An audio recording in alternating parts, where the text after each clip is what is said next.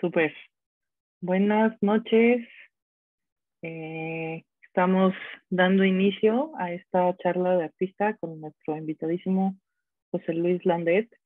Bienvenidos a este espacio, eh, Navaloquita. Muchísimas gracias por su tiempo y por su paciencia y por acompañarnos el día de hoy. Eh, este espacio se llama Avaloquita y está eh, fundado por Ishel Ledesma, Marcel Borges y yo, Minerva Ayón. Y estamos muy contentas de que este es el cierre de actividades de verano y es un programa que obtuvo la beca del PAC 2022. Estamos bien contentas de cerrar con esta charla con José Luis y que sea nuestro broche de oro para este ciclo de talleres y, espacios de verano. Eh, entonces, bueno, para nosotros es un gran honor tenerlo aquí. José Luis, como saben, eh, es de Argentina, Buenos Aires. Estudió la licenciatura en, de Artes Plásticas en la Esmeralda, en la Ciudad de México, del 2000 al 2005. Ha expuesto en diversos espacios nacionales e internacionales, en destacadas ciudades como Nueva York, Lima, Buenos Aires, Miami, Londres, Torino, Francia, Suiza, Madrid, Sao Paulo y la Ciudad de México. Ha sido acreedor de diversas becas, como son FONCA de Jóvenes Creadores del 2007 al 2008, del Centro de Investigación Artísticas de Buenos Aires, Argentina 2010, el Fondo Nacional de las Artes de Buenos Aires, Argentina 2013, y actualmente es becario del Sistema Nacional de Creadores de Arte del 2014 al 2016 y del 2018 al 2020 en México Distrito Federal. Bueno, que ahora es Ciudad de México. En el 2009 realizó una residencia en la curtiduría, taller de gráfica actual en Oaxaca. En el año 2010 realizó una residencia en la Galería Revolver en Lima, Perú una residencia Flora Honda, Bogotá, Colombia, 2016, y su obra forma parte de diversas colecciones. Entonces, pues nos da muchísimo gusto eh, tenerlo aquí esta noche, comparta con nosotros y con ustedes. Y pues bueno, les presento a José Luis Landet. Bueno, buenas noches por acá, buenas tardes eh, querido México. Eh, bueno, muchísimas gracias. Primero agradecerles a las tres por, esta invitación y, bueno, por el proyecto Avaloquita y por todo lo que, lo que vienen haciendo eh, tan necesario ¿no? para, la escena no solo de México, sino de, nuestra Latinoamérica también. Y, qué, mejor forma de, conectarnos, bueno, ahora por, por este medio, eh, para nada, para, charlar un poco, para, eh, para preguntarnos qué es esto de la, de, la actividad artística, del proceso, eh, preguntarnos qué, nos pasa dentro del taller o cuando tenemos que, enfrentar algún, algún tipo de, exposición o, o, de muestra como más pequeña o más grande. Eh, yo traje eh, un, ejemplo, eh, quería, estuvimos pensando, hemos, hemos estado charlando hace creo que dos meses, ¿no? Más o menos. Y, bueno, cómo abordar el tema, porque hay mucha, muchos proyectos, hay como cantidad de, de producción, pero como yo le decía a las chicas, eh, generalmente uno habla eh, de lo mismo siempre. Una o dos cosas o dos temas eh, son recurrentes y están y se hacen presente en cada, en cada proyecto. Y bueno, cuando uno toma un poco de distancia de lo que ha, de lo que viene produciendo, se da cuenta de que, de que de alguna manera aparecen los mismos conceptos y, en mi caso aparece siempre las tres mismas preguntas, eh, que son quién produce, quién distribuye y quién consume los eh, objetos socioculturales que, que, los artistas producimos. Eh, entonces, bueno, quería contarles un poco el último proyecto que, realicé, el último, así como que me ha llevado tiempo, ¿no? de, producción, porque la última muestra fue hace muy poquito, en el mes de mayo, en la Ciudad de México, en la Galería eh, Arronis, es un, espacio de Gustavo que, vengo transitando hace mucho tiempo, desde que se inició en el 2006, y en mayo de este año hice una muestra que se llamó eh, Arqueología Procesual, y eh, resultó ser como una suerte de, apéndice de eh, este proyecto que hoy les vengo a, presentar, que se llamó El Atajo. Eh, bueno, voy a empezar a, mostrar eh, imágenes. ¿Me escuchan bien? ¿Ven todo bien? ¿Sí? bueno, esperen. Algo sucedió. Y eso que lo ensayamos, ¿no? Ahí estamos. Bueno.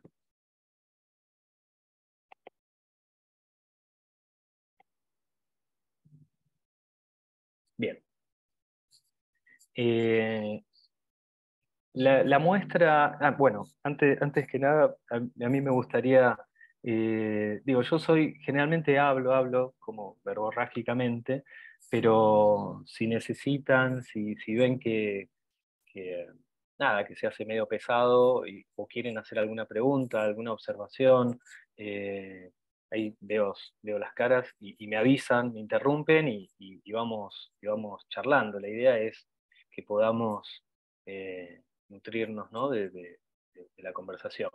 Eh, así que bueno, dicho eso, les cuento que este proyecto arrancó muy extraño porque eh, el Museo del Marco, el Museo de, aquí, de, Museo del Marco de, La Boca, del barrio de La Boca, eh, en Buenos Aires, eh, me invita a hacer un proyecto, así finales del 2019, para arrancar en el 2020.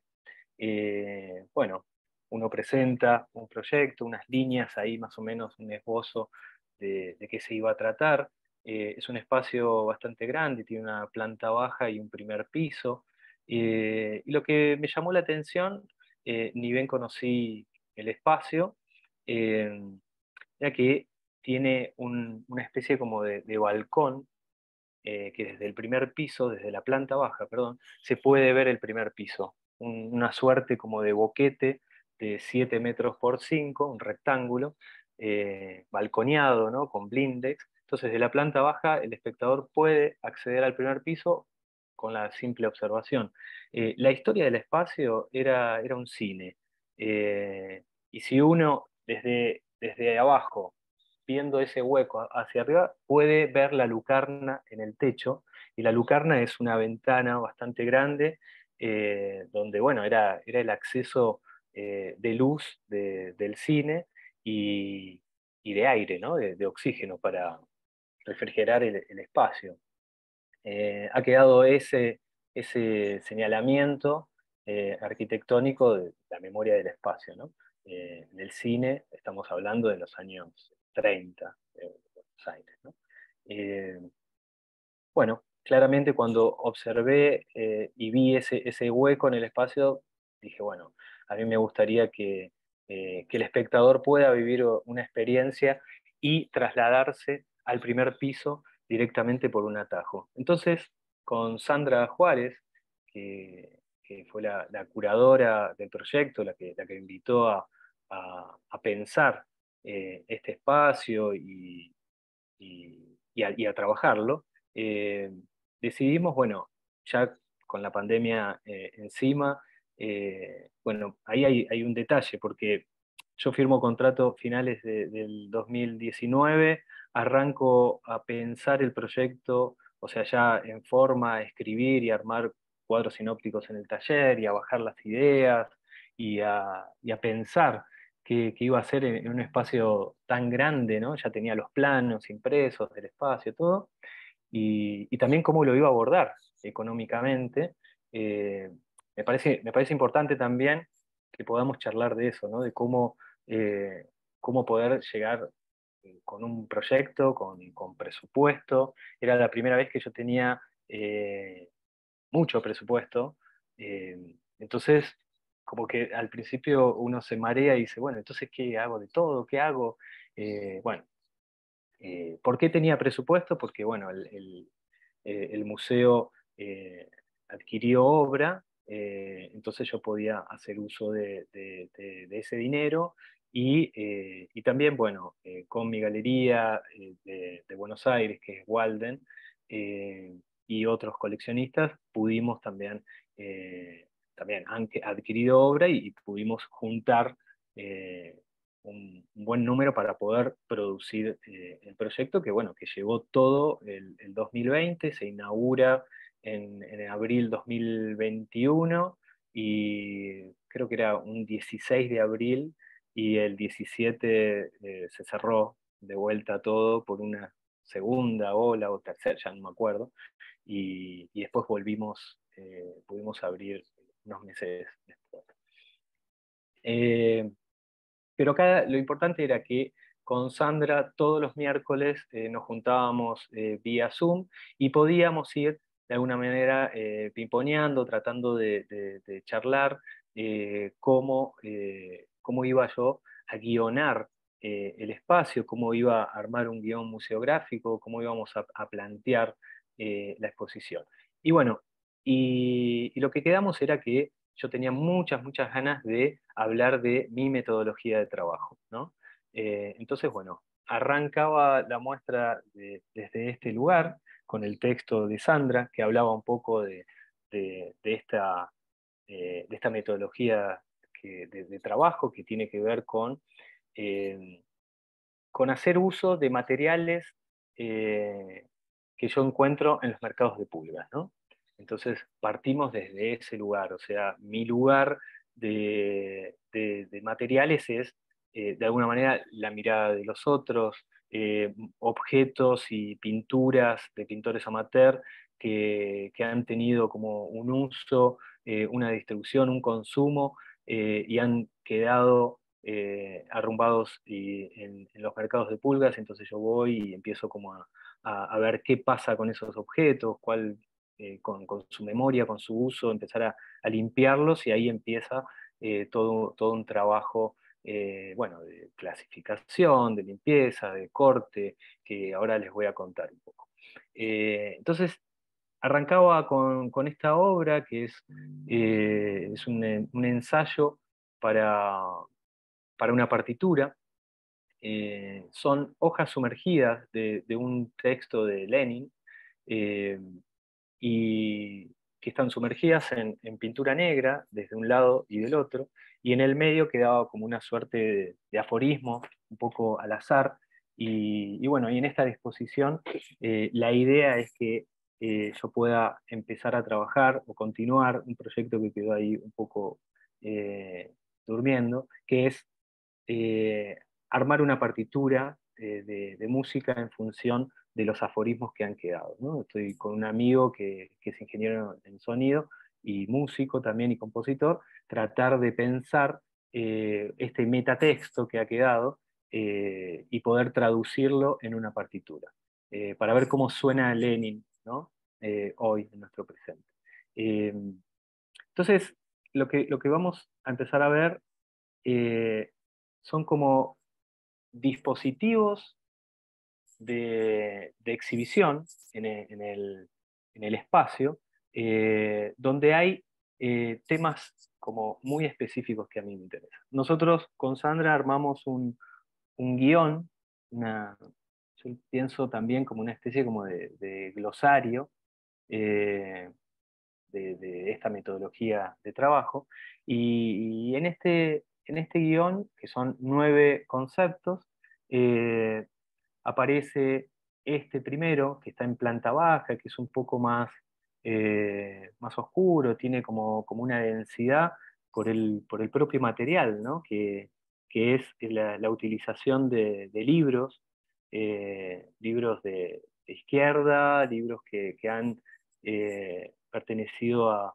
a, un espacio ¿no? como de, reflexión y un momento histórico eh, no, solo, no solo de Argentina, ¿no? sino de, toda Latinoamérica, o sea, obviamente uno eh, trae al presente esta, esta, relación de los 60, los 70, en específico con eh, todos los golpes de Estado del Plan Cóndor, ¿no? en, el Cono Sur en específico. bueno, de alguna manera yo me he acopiado de todo este material durante muchos años. Eh, primero empecé con la biblioteca eh, familiar, eh, por libros y revistas que han estado dentro de mi casa. tanto mi madre como mi padre han pertenecido al, Partido Comunista en un lapso de tiempo no tan, no tan largo. y después cuando arranca la democracia, a los dos años, ellos se, se retiran del partido, pero bueno, con mi hermana Virginia, que, está ahí presente, mi madre también, y mi sobrino debe andar ahí también escuchando, eh, hemos, hemos de alguna manera vivido eh, eh, esa, parte, ¿no? Como de, militancia y de militancia también a, a, oscuras, en silencio, ¿no? Digo, nacer en el año 77 en dictadura, bueno, obviamente ahí eh, es, otro modo, ¿no? Como de, relación con, el contexto. Y, bueno, todo eso. Lo, que estamos viendo acá es la, instalación que se hace presente, o sea, esta idea de acceder al primer piso por un atajo. Entonces, claro, lo que yo me encuentro es como con un problema realmente arquitectónico, porque yo lo que pensaba era, de, bueno, yo quiero que este espacio eh, se transforme por... Sí. Creo que no estamos viendo la presentación. Hace rato que está ahí, ¿no? ¿Me están viendo a mí? Ah, ok. Pero cuando hablaba de la partitura tampoco veían. Veíamos la pantallita de como de, la ventana de bosque. Ah, pero me podían avisar, porque eh, yo estaba hablando. ¿Ahí ven? No, es que yo creo que ah, al momento de compartir pantalla, sí. viste nada más la ventana de... Ajá. Entonces hay que darle el primer botón que es todas las ventanas y acordarte de poner el botoncito de abajo de sonido. Del audio. ¿Ahí estoy? Sí. Ahora sí. ¿Sí? ¿Sí? Chido, sí. Listo. Bueno, estábamos hablando eh, justamente en el aire.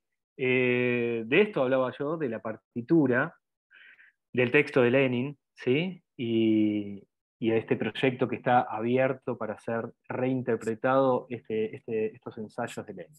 Eh, esto es una pequeña partitura, una pequeña de tantas, porque lo, que estoy haciendo eh, son 32 tomos de los ensayos de Lenin.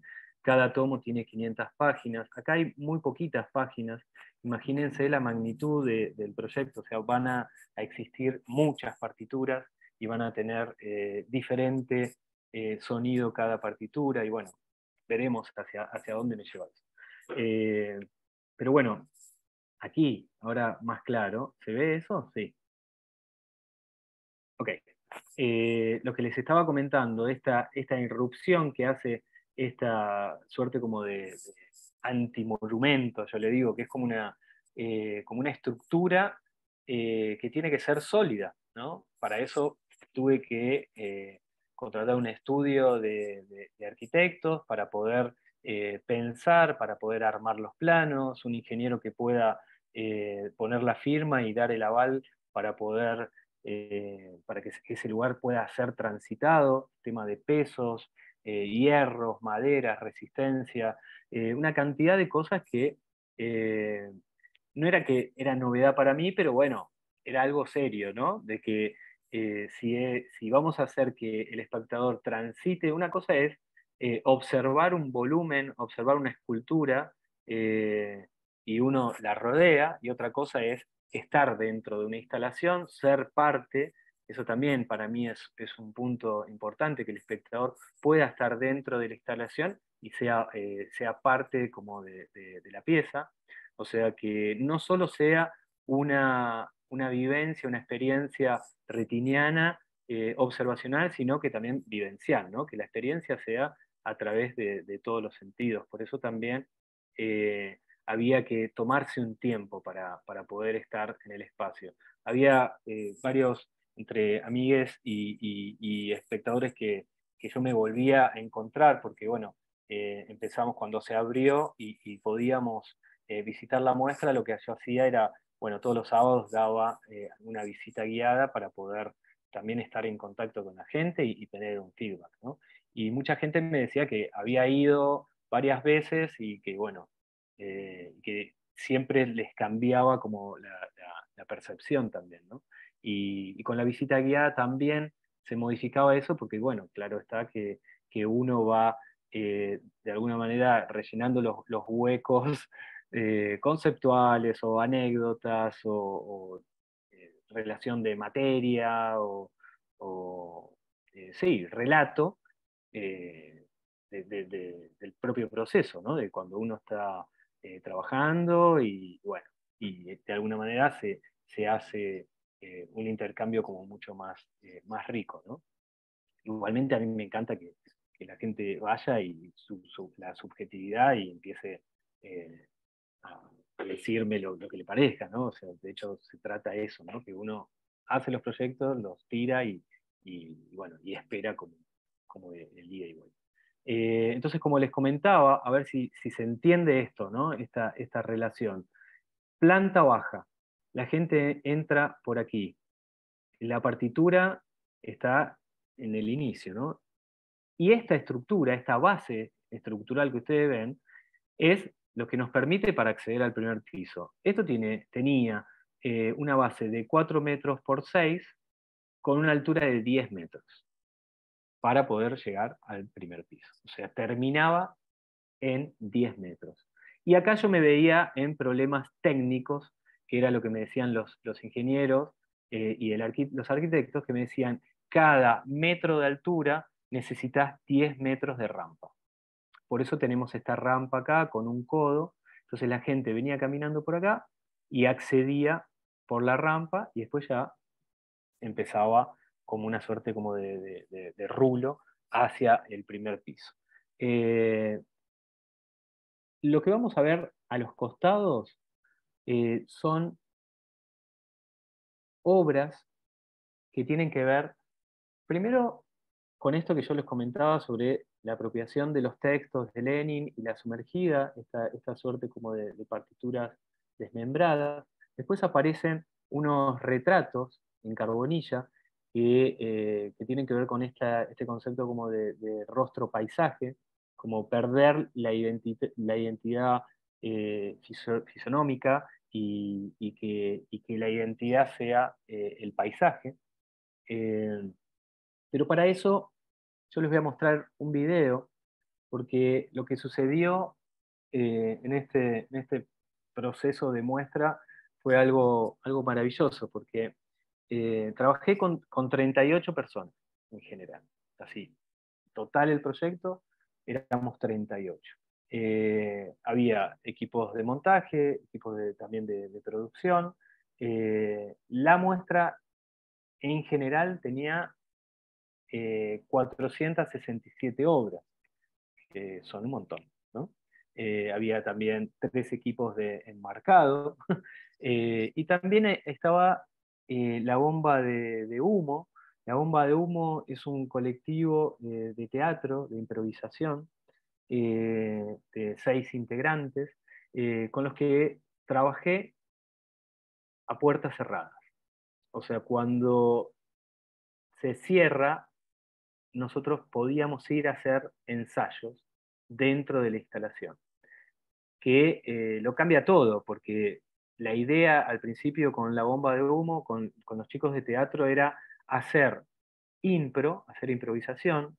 Recordemos que la improvisación tiene esta, estas tres eh, patas que son la, aceptación, la escucha y el juego grupal. O sea, el colectivo de, de actores lo que hacen es eh, aceptan la propuesta de un otro, de una otra, de un otro, y eh, juegan eh, a nivel colectivo y empiezan a, improvisar.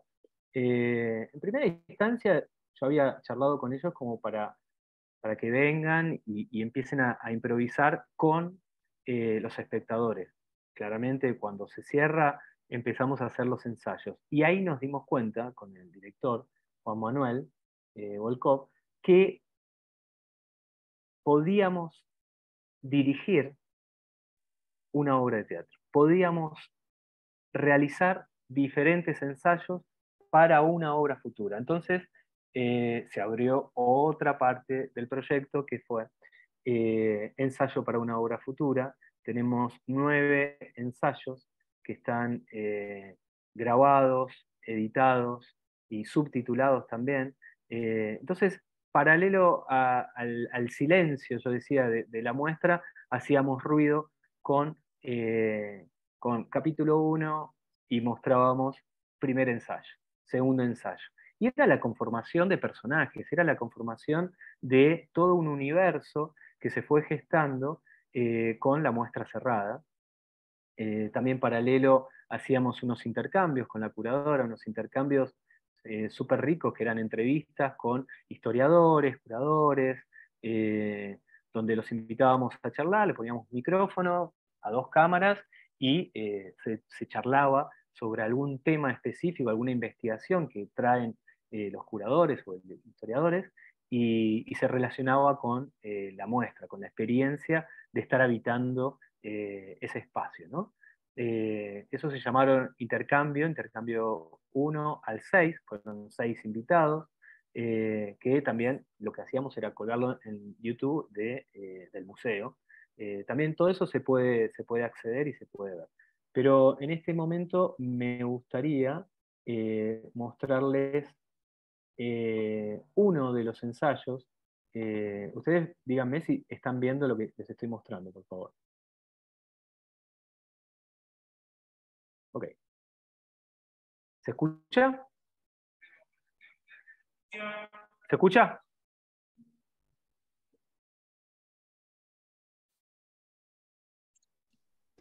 Se escucha muy bajito.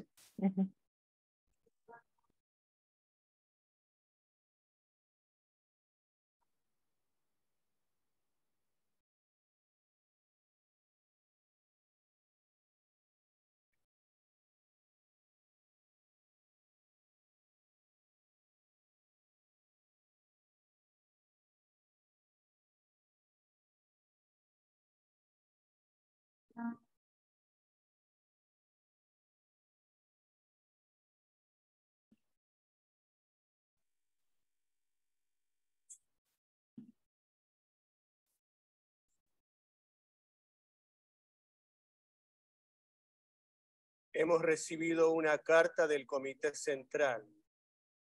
Comunican que la Organización Obrera Social Demócrata de Armenia. ¿Cómo dijo?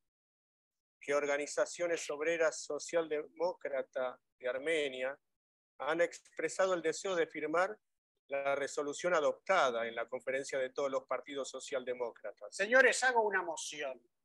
Es indispensable ponernos a trabajar en pos de una comunión grupal. No es posible que cada compañero esté en la suya. Señores, ¿se acepta o no mi moción? Como un agujero negro esto. Es como un sinfín. Es como un agujero negro. no tienen esa sensación?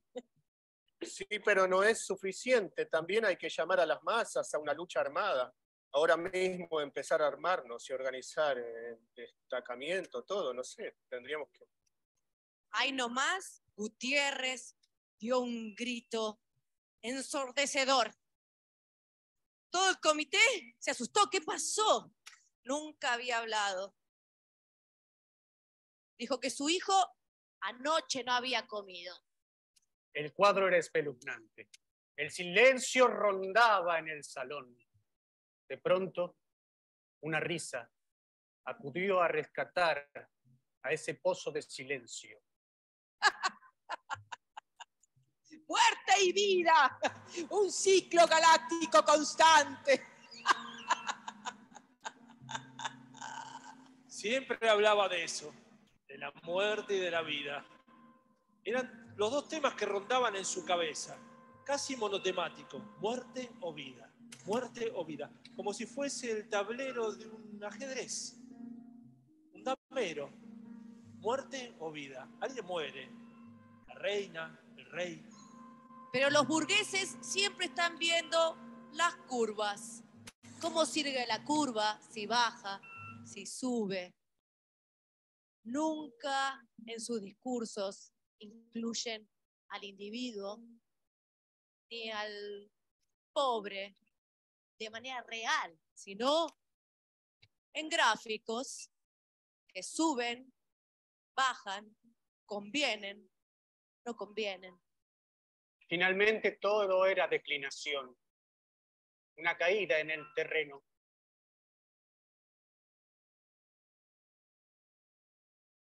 Como que un día se cansó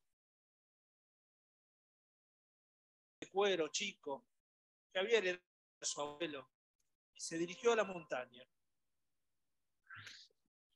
Al fondo estaba la luna, era una luz tenue, que solo le servía para no caer, para encontrar dónde pisar.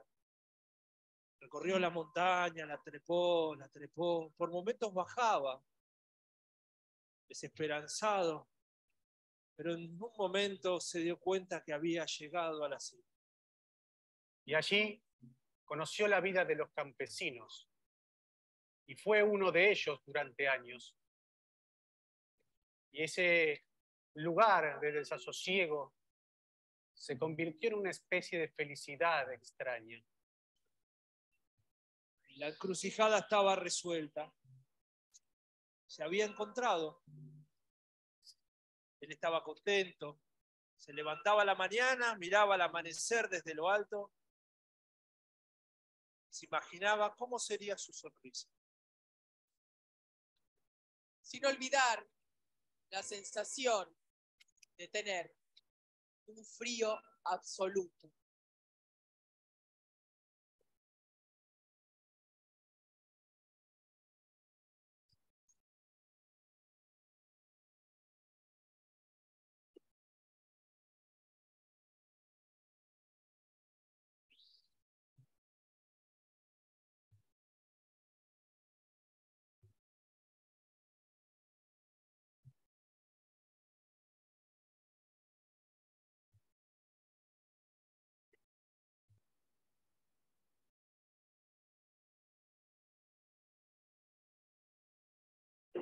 ¿Estamos ahí? ¿Me ven?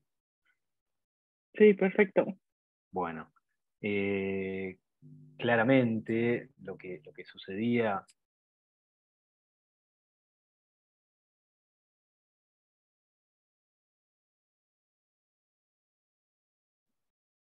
Eh, se congeló. Sí, creo que sí. A ver, esperemos un segundito. Ok.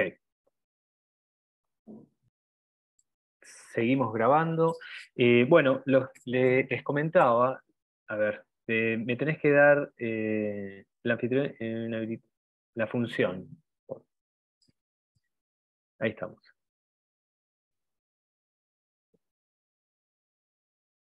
¿Ven la imagen? Correcto.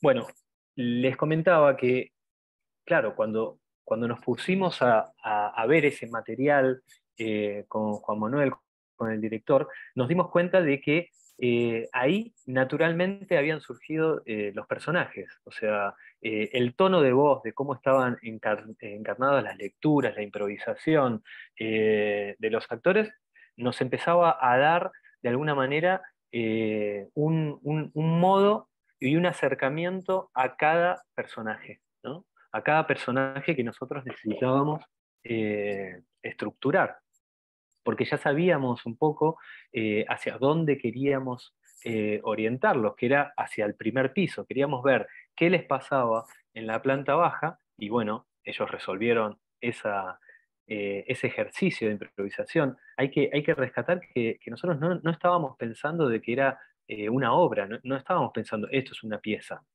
estábamos pensando de que era un proceso, un proceso donde necesitábamos grabarlo para poder estar observando, necesitábamos editarlo, eh, gracias a, a, a Jime Odi eh, dentro, dentro del equipo, eh, Jime clave, porque con ella eh, podíamos editar estos videos y, tratar como de, seleccionar las imágenes y, armar otro metalenguaje.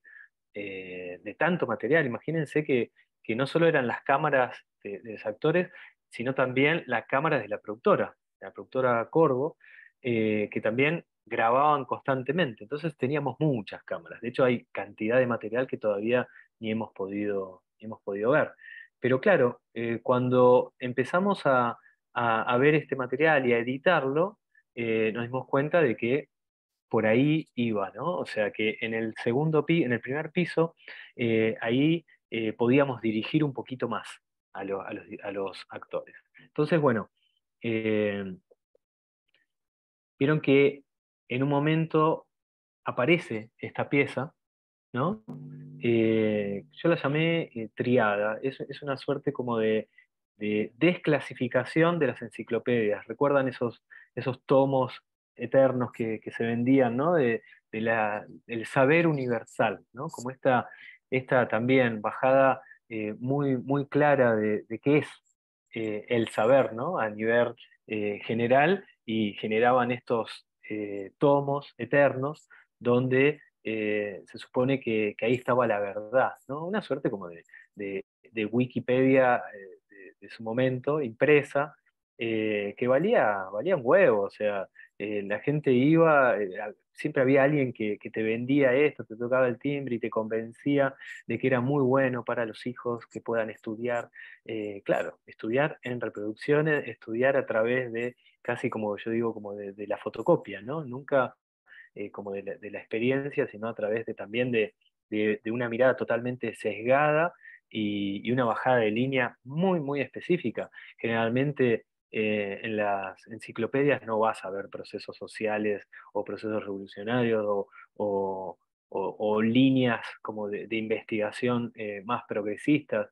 generalmente vas a ver lo que eh, el, sistema económico eh, quiere que, veas y que te instruyas a través de, esas imágenes y de esos textos. Entonces, durante muchos años, claro, eh, en los mercados de pulga, aparte de conseguir pinturas, fotografías, diapositivas y cantidad de, información, los, estos volúmenes eternos están ahí abandonados y casi te los, te los tiran por la cabeza, te, llévatelo, por favor.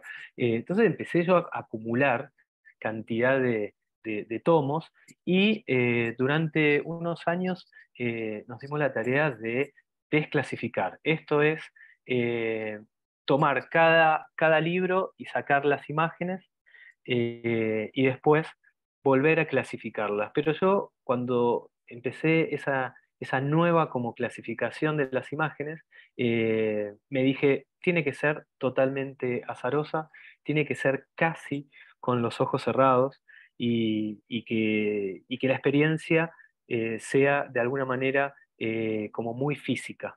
Entonces yo lo que hacía, yo ya tenía dispuesto a la mañana unas pilas de imágenes de deporte, imágenes bélicas, la ciencia, el universo, arte. Entonces, hemos clasificado desde, ese, lugar en 11 eh, pilitas de, imágenes y, lo que hacía yo era llegar al taller y empezar a tomar siempre cada tres. Al principio, como que el ojo iba y las buscaba cada tres, a, una velocidad importante. Y después me di cuenta, yo en ese momento estaba practicando tai chi, y dije, bueno, ¿por qué no eh, utilizar esto ¿no? como la, idea del cuerpo, de, la meditación también, y, de empezar a hacer algunas eh, eh, formas a través del cuerpo, claro está. Y empecé a tomar las imágenes, pero ya no estaba viendo lo, que estaba agarrando y siempre de a tres, de a tres, de a tres. Después viene un proceso de, pegado ya como muy específico, como de composición de estas eh, tres imágenes, y eh, se, pegaba, se sacaba una fotocopia, esa fotocopia se pegaba en, un cartón, el cartón se recortaba, después se pegaba en un eh, MDF, en un fibro fácil, ese fibro fácil en un bastidor, el bastidor se sumergía de los lados, esto que estamos viendo de pintura negra es que se sumerge en esmalte negro sintético, mate, eh, y después al último eh, se mandaba a enmarcar, volvía a la obra proceso, ¿no? enmarcada, y claro, a mí me faltaba algo, me faltaba guionar un poco más al espectador y, darle un poco más de, herramientas en esta triada de imágenes que podían ser eh, totalmente inconexas, ¿no? Pero yo me daba cuenta que el cerebro cuando veía tres imágenes armaba una suerte como de frase, unas palabras o un relato. Entonces ahí lo que hice fue eh, acudir a, Wikipedia y preguntar, eh, a, Google, y preguntar, ¿qué piensa la ciencia actual del cosmos Así fue. Puse, ¿qué piensa la ciencia actual del cosmos? Y me apareció una enciclopedia más que interesante de 70 tomos impresos que compré, llegaron a mi taller y lo que hicimos fue sacar los títulos y los subtítulos. No tocar imágenes, pero sí sacar los títulos y los subtítulos, eh, meterlos en una bolsa y después de a uno iban saliendo y se iban pegando al azar. Eh, también, a, cada triada. Entonces, bueno, ahí se, empezaba a armar este, este, este relato. Y eh, tenía esta, esta disposición medio, medio de atlas, eh, son muchísimas piezas, son 200 piezas más o menos. Acá en la muestra había 182, porque teníamos que dejar un espacio para una puerta que ellos tienen ahí como de trastienda, pero igual a mí me interesaba también esta, esta forma, ¿no? Eh, en relación a, la instalación. Eh, y acá sucedió algo también que, me, ha gustado mucho, que eh, vieron que yo inicié la conversación con esto de quién produce, quién distribuye y quién consume. claramente el consumo de una pieza de esta, de esta escala, bueno, solo una colección, solo un museo podría acceder a adquirirla, ¿no? Es como algo como muy, muy costoso. Entonces yo pensaba como la importancia para el espectador también de que pueda tener eh, eh, esta, esta, experiencia de, obra, pero en un fanzine. Entonces lo que hicimos eh, con, con Walden, con la galería, es hacer dos tomos, respetando, ¿están viendo así acá? Respetando el tamaño de cada pieza, que cada pieza mide 20 centímetros por 30, eh, y acá pasa otra cosa, ¿no? que es no solo que el, espectador se lleva eh, esta suerte como de, sí, de libro, de fanzine, de, estos collages, sino que también se puede leer como una, un texto de corrido o salteado. ¿no? Eh, hicimos el, tomo 1 y el tomo 2, con otras imágenes. ¿no? para mí siempre es importante que en las muestras exista eh, un fanzine, un folleto con imágenes eh, y que el espectador pueda eh, hacer uso de, ese material y también o adquirirlo o, revisarlo. En la librería del museo estaban los libros ahí a la venta, en precio muy, muy, muy económico, y también se podían manipular, ver, ¿no? Eh, y también está la versión en, PDF para poder eh, compartirla. Eh, bueno, sigamos. Ya subiendo la rampa, esta era como la, visual que teníamos, casi tocando la cabeza el techo, ¿no? Y desde adentro también pasaba esto, ¿no? de poder, a través de esa grilla, esa estructura, poder observar la obra, que desde abajo también era difícil porque no teníamos distancia. Todo estaba concentrado también eh, en, esta, en esta estructura, ¿no? como la estructura, la instalación, eh, el atajo como, como un planeta y las demás piezas y series como satélites que, rodean a eso. ¿no? Eh, también ahí está este concepto de Ilya Kabakov, que para mí es, es primordial, que es la instalación total, ¿no? Esta idea como de, escala, de tránsito y de tiempo que se le da, se le brinda al espectador para que pueda vivir una, experiencia con, su cuerpo, que se pueda sentar, que pueda eh, caminar, ¿no? En esa instalación total uno puede eh, vivir otro tipo de experiencia. Y bueno, y sucedieron cosas, ¿no? Porque eh, no había un cartel acá que decía, ojo, este es el vestuario de los actores. No estaba eso. Pero sí era el vestuario de los actores. Entonces, de repente encontrábamos en las redes eh, gente que se cambiaba eh, con esta ropa, daba una vuelta, se sacaba unas fotos, unos videos, la subía y después volvía a dejar la ropa. Cosa que yo no tenía control sobre eso y, me encantaba que, sucediera de esa manera, ¿no? Eh, eh, la ropa estaba ahí porque, bueno, eran los actores que eh, se iban cambiando y iban cambiando como de, traje, ¿no? y acá vamos a ver una, serigrafía, también, bueno, eso fue trabajar con la panadería, que es un espacio de serigrafía de Diego Bugallo, aquí en, el barrio de La Boca, un espacio extraordinario. Diego Bugallo trabaja con eh, cooperativas y movimientos sociales, eh, y también con artistas. Eh, entonces acudía a Diego para poder realizar una, caja de serigrafía de piezas que miden 70 por un metro y que nos dan como la imagen para cada, para cada concepto. Recuerdan que hablaba yo de estos eh, nueve puntos o como a forma de glosario de índice que habíamos construido con, con Sandra.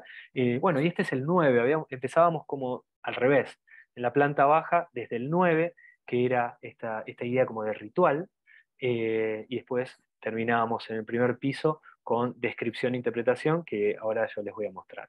esta imagen está sacada de un archivo que yo adquirí en México, en un, en, un, parque, eh, esos sábados ¿no? que se ponen no solo la barbacoa, sino también la gente eh, ahí a, vender eh, cosas. Y bueno, he adquirido un, archivo de un arqueólogo que ha podido viajar por toda la República Mexicana y en cada estado ha tomado diapositivas.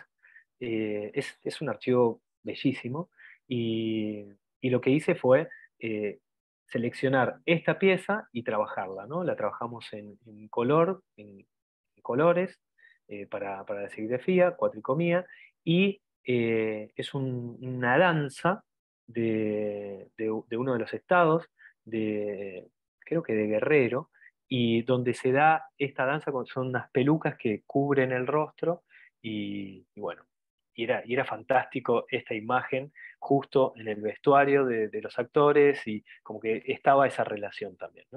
Eh, en este espacio teníamos un banco donde la gente se podía sentar y quedarse un rato. Ahí también era donde nosotros hacíamos los intercambios con eh, historiadores, curadores y, podíamos eh, verbalizar y charlar, imaginar también estos, estos procesos. Eh, cuando la gente eh, descubría que había una rampa y que podía acceder, se encontraba con estas piezas que las llamé esculto pinturas, eran como, como unos señalamientos donde hay como una descomposición, una eh, desclasificación de esta mirada, de los pintores amateur. yo vengo trabajando con los pintores amateur desde hace muchísimo tiempo, es algo que, me interesa muchísimo, eh, esa, esa, mirada en relación al paisaje, el paisaje eh, bucólico, idílico, eh, paradisíaco, ¿no? esa, esa mirada sobre el paisaje como un no lugar. ¿no?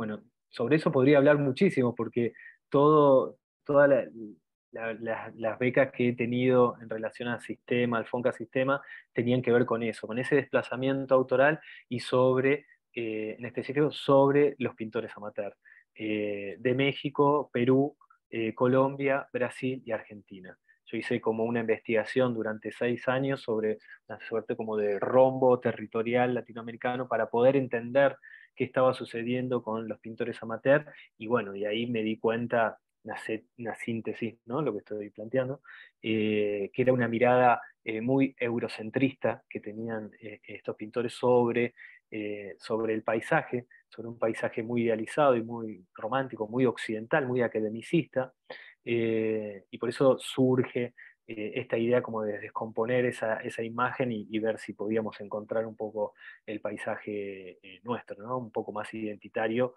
eh, territorial latinoamericano. Y ahí surge, bueno, todo un proyecto que se abre, que es bastante grande, que se llama Carlos Gómez. ¿no? bueno, siguiendo con, con el atajo, la gente iba, iba subiendo y acá se encontraba con estas escultopinturas. ¿no?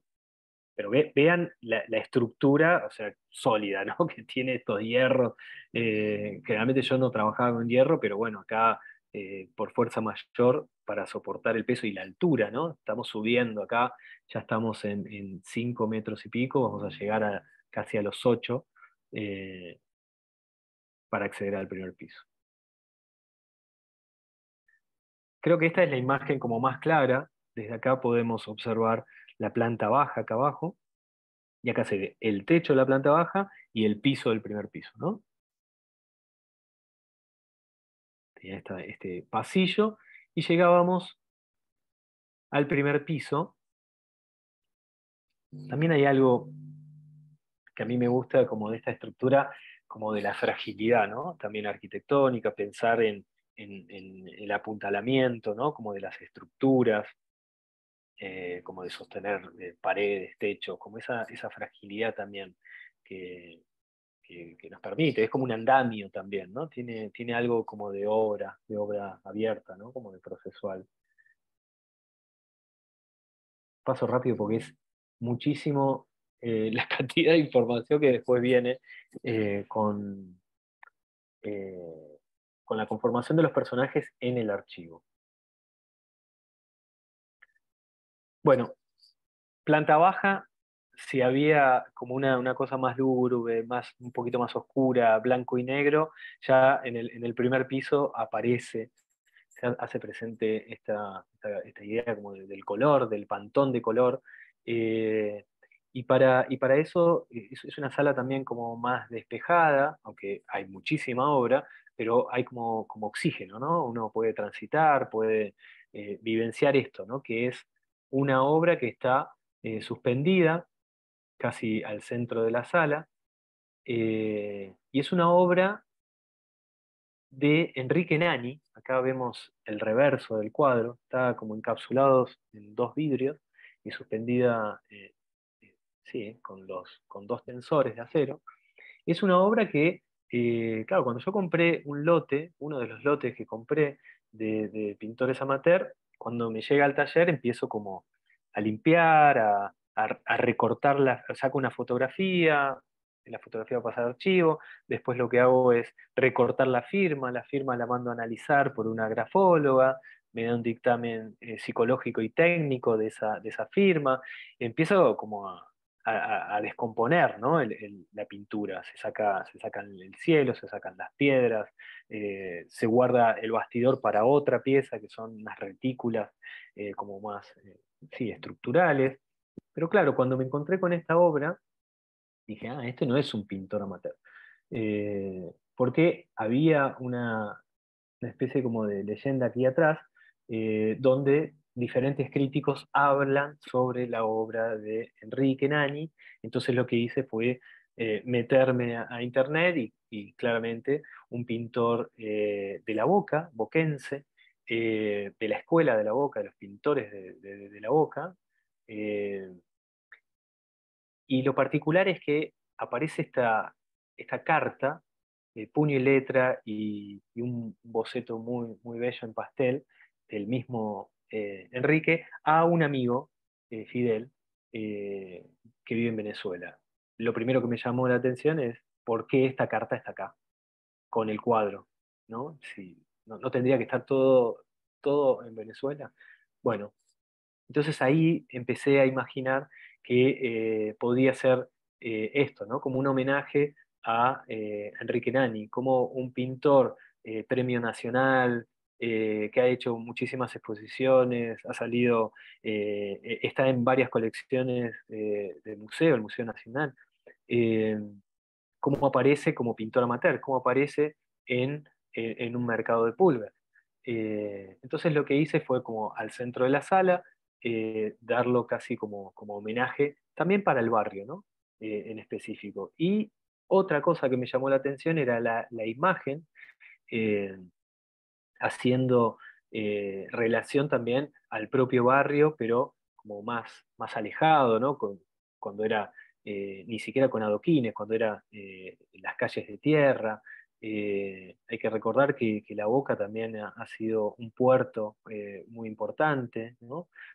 y donde hay eh, una arquitectura, una arquitectura muy frágil, como de, conventillos, y que se, que se fueron haciendo con los materiales que se fueron encontrando, eh, y muchos grupos de familia han llegado, y, también la propia gente que trabajaba en los puertos, en los astilleros, en, los frigoríficos, eh, bueno, una actividad económica y portuaria como muy importante de la época, y lo que llama siempre la atención de la boca son los colores de las casas, porque bueno, la gente pintaba en ese momento con las pinturas que sobraban eh, en los astilleros, ¿no? para reparar los barcos. Entonces van a ver casas con muchos colores. Entonces, de alguna manera, este, este cuadro era como eh, el, que, el que hablaba de todo eso.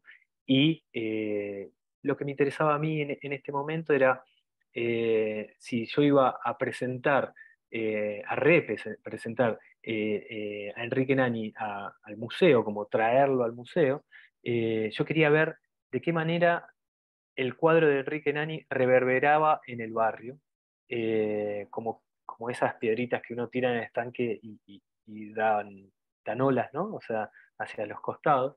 entonces lo que hice fue tracé una línea vertical al centro del cuadro y del lado derecho tomé 11 tonos de color, hice lo mismo del lado izquierdo, me fui a la pinturería, yo tengo mi taller en el barrio de La Boca, a tres cuadras del museo, eh, y en el medio tenemos una pinturería.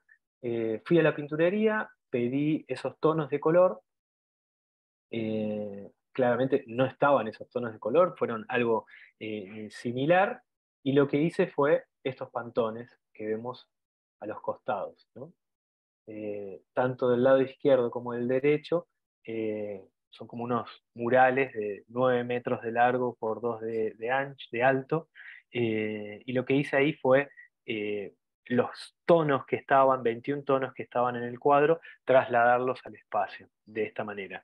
Y bueno, dije, ¿y qué voy a sumergir?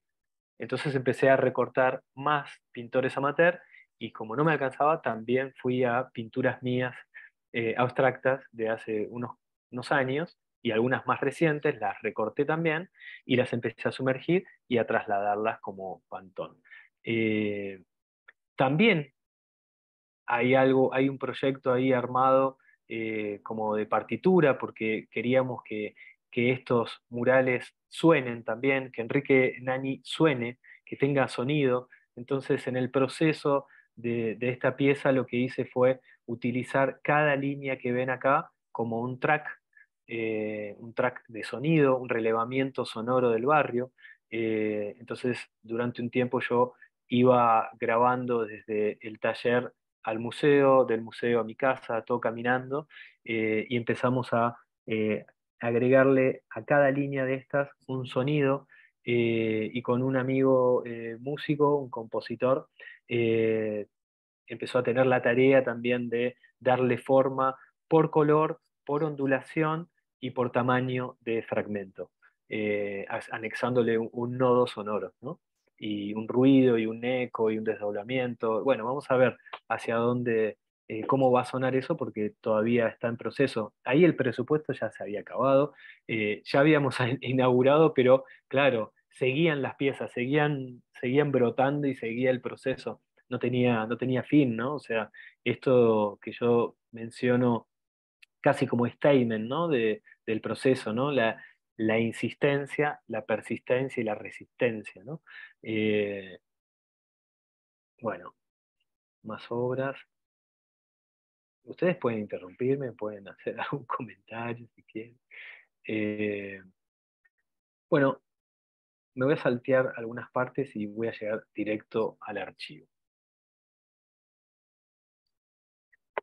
La construcción de, este mueble era también para albergar eh, cantidad de procesos y cantidad de obras. O sea, yo cuando me junté con eh, Gastón Arismendi, que es un, gran amigo museólogo, eh, con él hago todas las museografías de todos mis proyectos, o gran parte. Nos juntamos con Gastón y con eh, Sandra, la curadora, y ambos coincidían, ellos dos, de que había nueve muestras individuales y que yo tenía que recortar, tenía que parar, eh, cosa que me era muy difícil y no quería parar. Quería ponerlo absolutamente todo. Entonces surgió esta idea eh, de la construcción de un mueble, empecé a diseñarlo, hablé con otro, otro colaborador, otro amigo, Marcelo, eh, para la, que es carpintero, para la ejecución, para, para que lo pueda ejecutar. eh, hice todos los bocetos, lo ajustamos con Marcelo y, y- acá, acá tenemos este, este archivo que tiene diferentes líneas de investigación, o sea, hay una sola línea de investigación, pero diferentes temas conceptuales. Entonces, ¿qué vamos a ver? De, de esta parte de acá arriba, ¿ven la flechita? Hay una parte del proyecto que se llama descripción e interpretación. Eh, en, esa, en esa parte, en, esa, eh, en, ese, en ese lugar, eh, casi como trastienda, el espectador podía manipular este, este mueble y se encontraba con, este, con esta parte del proyecto que se llama descripción e interpretación, que también tenía su eco en serigrafía, que está acá. Ahí no se ve bien, pero después si quieren les muestro la imagen. Descripción e interpretación tiene que ver con esto, con un, eh, con un ir a la calle y preguntar eh, aleatoriamente, eh, primero, ¿qué edad tenés? ¿A qué te dedicas? Te puedo preguntar sobre si recordás alguna imagen, alguna obra de arte. Recordar. Me decían, sí, o le decían a, las chicas que, me estaban eh, ayudando, eh, Aileen, por ejemplo. eh,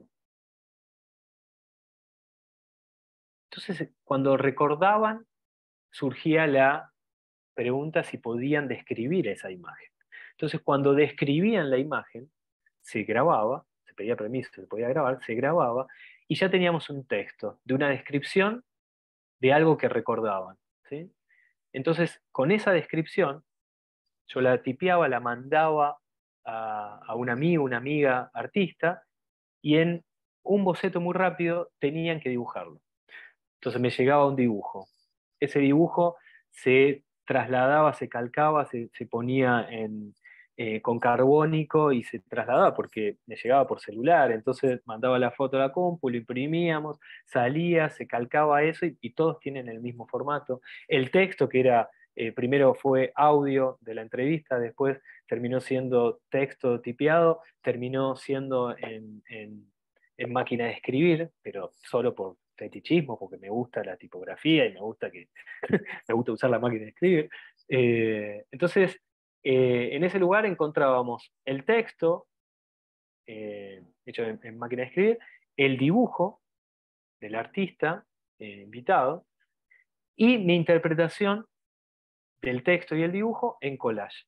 ¿Y qué usaba yo para, para el collage? Usaba fragmentos de pintores amateurs. Entonces, por ejemplo, tenemos una descripción hermosa que es sobre la balsa de la Medusa, de la Croix, también está eh, eh, la Gioconda, eh, pero las interpretaciones y cómo los artistas leían eso y, y por, por la descripción siempre aparecían otras cosas, ¿no?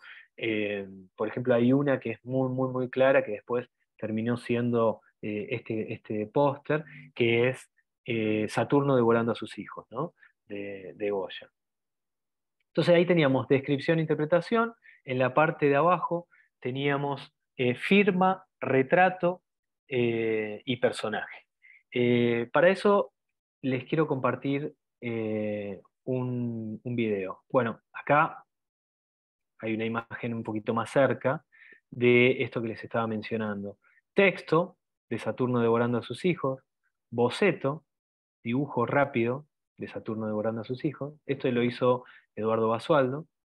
Eh, y este collage interpreta estos dos. Entonces la gente podía ver eso. Había 17 descripciones e interpretaciones. Acá este cuadro de David, ¿no? el, eh, Napoleón en su autocoronación, ¿no? esa, esa imagen que le saca la corona al Papa y, se, se, la pone. Eh, está esa imagen ahí. Eh, bueno, ¿por qué hay una silla? Porque yo iba y, me ponía a dibujar y también esperar a si, venía algún espectador y quería preguntar, yo estaba ahí para, para charlar. veía cosas del de los videos, como que armaba entrevistas, era un lugar de trabajo, o sea, el taller eh, dejó de, tener función y mm, eh, la exposición terminó siendo por unos meses mi, taller. Entonces vamos ahora a, esta, eh, a estos videos de las firmas. Para, esto de, las firmas lo, que hicimos fue, bueno, primero tomar esto que yo les decía, ¿no? El texto de eh, clarísimo de un análisis eh, grafológico de la grafóloga que hace sobre la firma, una, relación de técnica, pero también psicológica, que nos, nos, va dando información sobre el personaje. Después lo que hice también, eh, saqué de la firma como una suerte como de numerología, me puse a jugar también medio azaroso, y saqué el, vieron que para una carta astral se necesita eh, lugar de nacimiento, horario, día, mes y, ubicación. Bueno, saqué toda esa información, se lo mandé a mi madre para que pueda, eh, ella en ese momento estaba haciendo un curso sobre astrología, le digo, ¿te animás a hacer esto? Va, dale. Y, se puso a, hacer, eh, creo que en ese momento eran 20 cartas astrales, eh, y bueno, yo después lo que hago es como fusionar como todo eso, eh, y hay algo como muy clave en ese proceso que es eh, unos rostros que aparecen de un archivo que yo tengo de fotos carnet. cuando yo recibo por X motivo ese archivo, que son 4.636 fotos carnet, selecciono 20, esas 20 las mando a pintar por una pintora, que es Natalia Cristófara, otra integrante también, ¿no? Que esto, ¿no? Como de... Eh, quiero rescatar que cada persona que, participó ha cobrado también, ¿no? Eh, el presupuesto era ese también, o sea, poder eh, darles trabajo a, todas estas, estos integrantes. Natalia lo que hace es interpretar esa foto carné en óleo sobre tela, en un retrato. Ese retrato eh, ya tiene nombre, apellido y ya tiene eh, esta relación eh, psicológica, ¿no? esta, esta, cosa de dictamen y ubicación temporal y astral. pero lo que yo empiezo a aprender esta, es la lectura del rostro de Identikit, como se acuerdan ese, ese pseudo científico Lambrosio, que después, bueno, eh, el nazismo ha utilizado ese modo también como de lectura de rostro que hasta, hasta la actualidad creo que la policía lo tiene, eh, sobre el retrato hablado. ¿no? Eh, bueno, ahí uno podría hacer como un paréntesis y, es tremendo que se, que se siga utilizando esa lectura de rostro casi como, como que, el, que el, tipo plantea al Ambrosio que en el rostro eh, está el criminal, ¿no? que ahí uno podría ver. Eh, es, algo bastante, bastante cruel, ¿no? Eh, que, tu, que tu rostro denote como, una, como una práctica, una práctica nefasta, sí, pero portarrostro sería, ¿no? O sea, andar por la calle y te acusan por, por el rostro. Bueno, entonces lo que hago es utilizar el, modo del, retrato hablado, hago una descripción de esa pintura, la descripción es sobre la pintura, y con esa descripción la mando a ilustrar por otro, otro amigo, Elías, que lo que hace es interpretar eh, ese texto en una ilustración. Y ahí ya tenemos esta conformación del personaje, eh, pero me faltaba eh, trabajar con la gente de teatro. A ver, quiero sacarme esto del medio, porque este rectángulo en realidad no, no es de la, de la... Pero ya sé qué hacer. Lo voy a abrir de esta manera. No se me duerman, ¿eh? O si quieren, duérmense y me avisan. ¿Ahí se ve? ¿No? Ok, dos segundos. Ahora sí, listo, ahí se ve, ¿verdad? Sí, listo. Ok, avíseme si se escucha, por favor. Perfecto. Está. Acción. Eduardo Induini. Induni. 17 de octubre de 1937. Quilmes, Buenos Aires. Masculino de 83 años aproximadamente. Pelo corto, tupido, gris. Frente mediana con entradas, margen derecho. Cejas finas, cortas. La izquierda levemente dirigida hacia abajo. Eso. Los ojos pequeños, achinados, color gris oscuro. Nariz rectangular, finita. La boca grande con labios finitos. El labio superior presenta una ondulación. Los pómulos carnosos hacia el mentón, recto y grande. Las orejas medianas, carnosas, pegadas al cráneo. La característica principal de la piel son las manchas marrones y blancas, posiblemente la enfermedad de vitiligo. Cuello corto.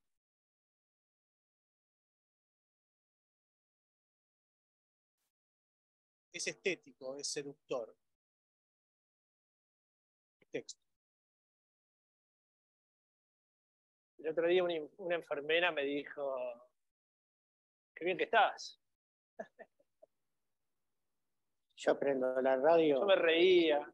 y a veces bueno, entonces la radio, más, la radio pienso, tráeme más pastillas. a veces pienso, ¿no? No es que todos los días pienso lo Ella mismo, también se rió, se llama Mabel. Pero a veces pienso que la radio, chiquita, la radio me habla, siempre me cuenta de ella, me cuenta las fotos. me dice si cosas que son fuese- interesantes, me dice cosas que no son interesantes para nada, Persona segura de sí misma, Pero- que se cree superior y piensa que, lo, que no necesita a nadie para presentarse, ya que su sola presencia o firmas son suficientes.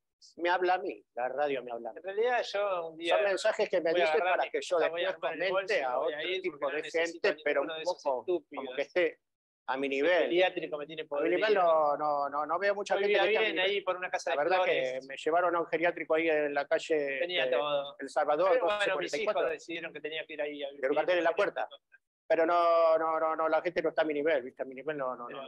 Yo ya le dije a, si yo quiero, a- me voy, mi vida, Sandra, ¿viste? La mujer de mi hijo, mi hijo no me quiere ver, no me quiere ver. Está Yo- convencido de su manera de actuar y pensar. Yo estoy seguro que es Un así. día voy a dar un portazo, A esta edad no me van a venir a, a enseñar a mí, yo voy a dar un Que me portazo y me voy a ir a la mierda. me vengan a decir algo. Que me vengan a decir algo. Che, la casa donde viven mis hijos era a mi casa.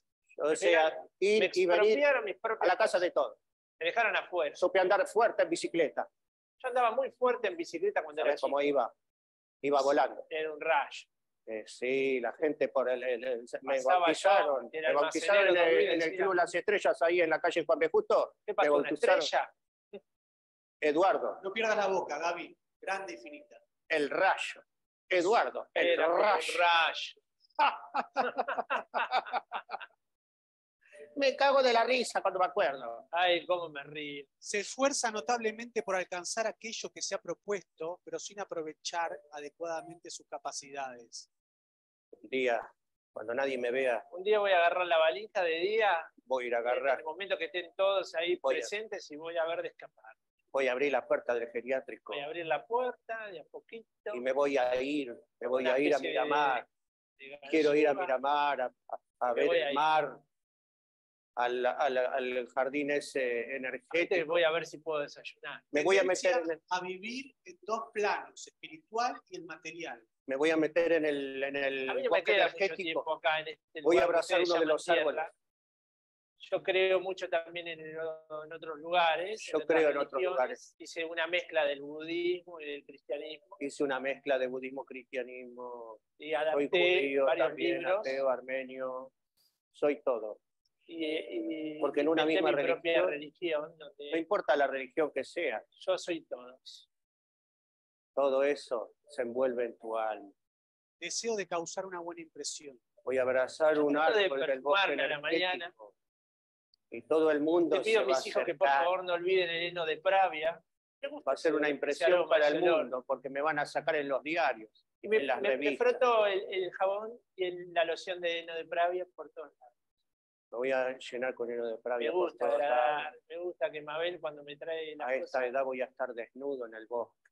Imperfecciones que esconde bajo una fachada. Y ahí me van a ver, porque nunca soy- me habían visto las cicatrices de la guerra. me doy cuenta que soy un gruñón. Es una cicatriz que me quedó de cuando era chico. Me voy a sacar el calzoncillo y ahí la van a ver la cicatriz. Ah, Me, me quedó cuando era chico porque mi padre me retaba todo el tiempo. Podría tener dificultades para establecer vínculos sólidos y compromisos profundos. Quizás porque siente que es una atadura. Eso me costó durante mi vida, llegar a Yo, algún punto yo hoy le pido a mis hijos que no vengan a visitarme porque para tener siento que relaciones soy como una, la- como una atadura para ellos. Siento que soy una atadura, algo para todos. Entonces cada vez que vienen los trato muy mal. Muy mal. Ahora, Vino mi nieto y Cuando me le pensamientos, pegué los trato un mal. cachetazo bastante, bastante el revés de la mano. trato mal a los pensamientos porque no quiero pensamiento negativo. No quiero Estoy entre los dos planos. pero bueno. El espiritual, Vayan más a lo espiritual. el espiritual y el carnal. En el espiritual, la otra vez, Si uno deposita su mente pensé que estaba soñando, pero era verdad, estaba en un viaje astral. encuentra que todas las cosas malas que pasan Me acá estaba viendo a mí con nos 28 están años. pasando a nosotros como como seres Yo ando en baile en el Club Villa Crespo. Pasan a minimizarse. Estaban pasando Yo vivía en Villa Crespo, un barrio Roberto Goyeneche de fondo. Uno es generalmente lo espiritual, judío. Charlie, y el otro es lo material. Gaby. Yo tomé cosas Yo lo de que no veo no tomé cosas del Si a mí no me lo demuestra, No me vengan con boludeces. del budismo y, y de Que una cosa que tiene que estar arriba, abajo, en el, en en sueño de la tercera, cuarta dimensión, lo que sea. A mí no, no, no, Digamos, una especie de cadáver exquisito, pero con las distintas. Ese cadáver exquisito de porquerías que me vienen diciendo que yo en realidad si no lo veo no lo creo. ¿entendés? Creo que cada religión Se tiene enerva algo más. que. Se te va la- el, el opaco, el opaco del- de la piel. Creo que La piel está brillante que- cuando está vivo. Gaby se enerva más, Charlie se vuelve cuando vos más, estás- más, eh, pacífico. cuando uno se le va la, de la- la vida, vos opaca la cara. Si Eso es vida, eso es verdad. Quiere a la No me vengas persona que tiene cerca ¡Enfermería! y hace por el próximo lo No que es uno situacional, Gaby. quiere, ¿eh? No es situacional. No es situación. digamos, para. Haz al otro Monólogo. Y no viene alguien de verdad, no existe. lo que tú harías por mí. Porque la verdad que la, la vida es así. Eh, voy Yo a- quiero una media luna, voy la a leer, como, le voy a recitar No voy a andar pensando en un día. pareja, cuando- que inventé yo. Últimas reflexiones. Si sos como un hombre que ama, Las cosas del cielo, de el la vida, mundo se caen, dará vuelta para saludarte con una sonrisa. Somos lo que somos porque estamos vivos y porque tenemos carne, sangre y nos late fuerte el corazón. Eduardo se lo- Indu- se lo- Induni. mi nombre es Yo no es porque soy una cosa que anda ahí por el aire flotando. Yo soy Eduardo. Eduardo. Induni. Corte.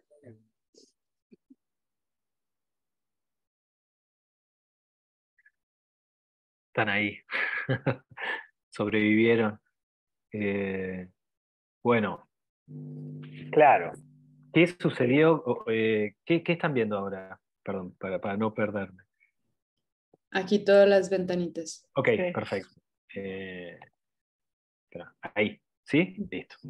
Eh, ¿Qué sumamos acá? Algo que nunca había aparecido en mi trabajo.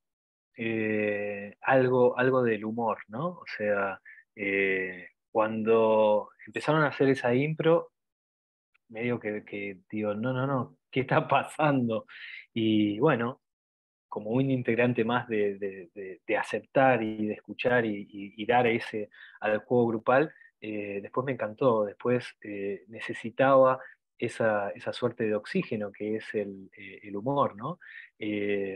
Y aparte, imagínense en ese contexto, también pandemia, todos encerrados, ensayando, ¿no? Ensayando y, y, y armando estos personajes.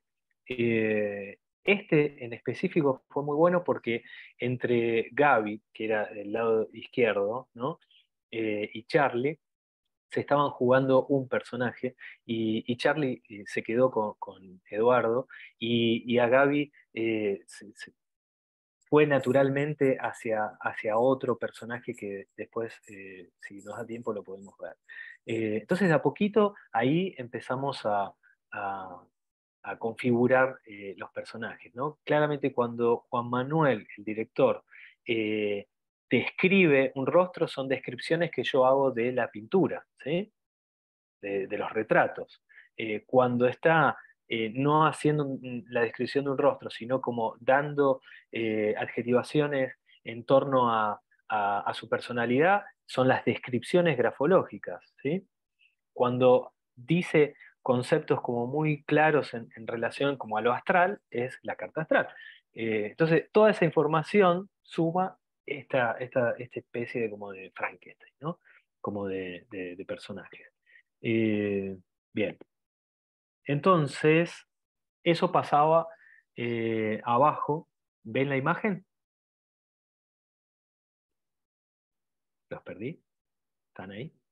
Aquí estamos, aquí estamos. ¿Sí? Sí, se ve, sí. La imagen ven, ok. Eh, bueno, y después había eh, otras, otras líneas de investigación, eh, había un homenaje acá a, Carlos Gómez, pero bueno, en este momento ya no, no me da tiempo para hablar eh, de Gómez. En esta, en esta mesa se podían ver cada, cada proyecto, cada índice, cada, perdón, cada concepto del índice de, ese, de este glosario tiene una bitácora, una bitácora de trabajo, de planteo, eh, que el espectador podía ver en la vitrina. Lamentablemente no podía manipular, pero que, lo que sí podía manipular eran otros proyectos eh, que se encontraban acá. ¿no? Eh, si querían investigar desde dónde venía toda mi, investigación y, nada, mi línea como conceptual y, práctica, la podían ver ahí, había textos, también había un texto que, escribió un amigo, un artista, eh, Gaspar Acebo, sobre, eh, sobre el archivo, qué significa el archivo, y él fue muy lindo porque él da clases de semiótica, daba clases de semiótica en la universidad, entonces lo que hizo fue hacer como, me dijo, voy a hacer una operación Landet, entonces lo que hizo fue agarrar diferentes filósofos y recortar específicamente los libros donde hablan de archivo y después lo sumó y ahí está el texto sobre, eh, sobre archivo. Eh, acá en este boceto podemos ver eh, un poco eh, ese planteamiento que yo había hecho con el cuadro de Enrique Nani y los tonos de, color para hacer los, murales a, los costados. y bueno, y estos sellitos tienen que ver con esto, que es un nuevo lenguaje. cuando armé esta pieza, eh, armé una tipografía, o sea, cada uno esto es un abecedario, de la A eh, a, la, a, la, Z, están las 27 letras, eh, esta es la A, la B, la ta, Claro, armé los sellos, también dispuse tipo de letra en Word y me puse a escribir de esta manera. Era un nuevo lenguaje que tenía que ver con esta descomposición de, los, de esta mirada eh, de los paisajes. Recuerdan que yo había eh, dado casi como por tesis de que eh, en esa mirada romántica, bucólica, había una, cosa como muy academicista, muy eurocentrista, y yo quería como descolonizar esa, esa, mirada y escribir un, meta, metalenguaje. claro, cuando los actores vieron esta, esta pieza y yo les conté de qué se trataba, eh, con el director, con Juan Manuel, lo que dijimos es, ¿por qué no, no hacemos una impro frente a este, a este nuevo alfabeto y ver qué sale? ¿no? Ver cómo, cómo lo pueden ir eh, eh, trabajando. ¿Quieren verlo? Ya, ya pregunto porque tal vez, ¿sí? Sí, sí.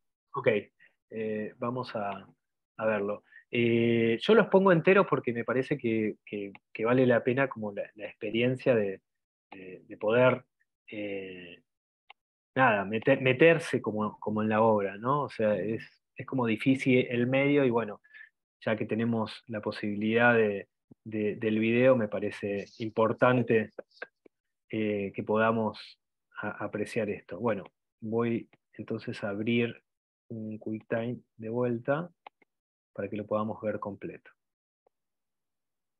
Cinco minutitos. Eh, ¿Lo están viendo?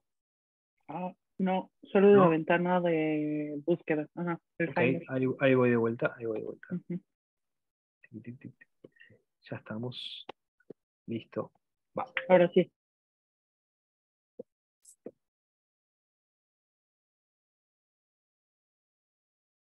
La idea es destilar el concepto de cada símbolo.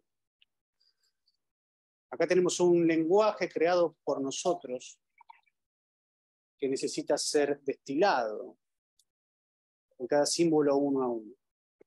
Como quien separa la clara de un huevo, poéticamente hablando. Las tres primeras personas que aborden el símbolo van a generar una especie de poesía, haiku, como quien pasa de un lado al otro, ese núcleo. Y la última persona, ¿sí? Va a sacar ese núcleo, que es la yema, el concepto de cada símbolo. Eduardo, Querido. vas a empezar vos Eh. con la primera letra, símbolo. Eh, me, me paro, ¿querés que lo haga Parate, sí. A ver, lo No, está está está Ya fue. Ahí está. Bueno, ¿Qué ves ahí, Eduardo? el primer símbolo eh,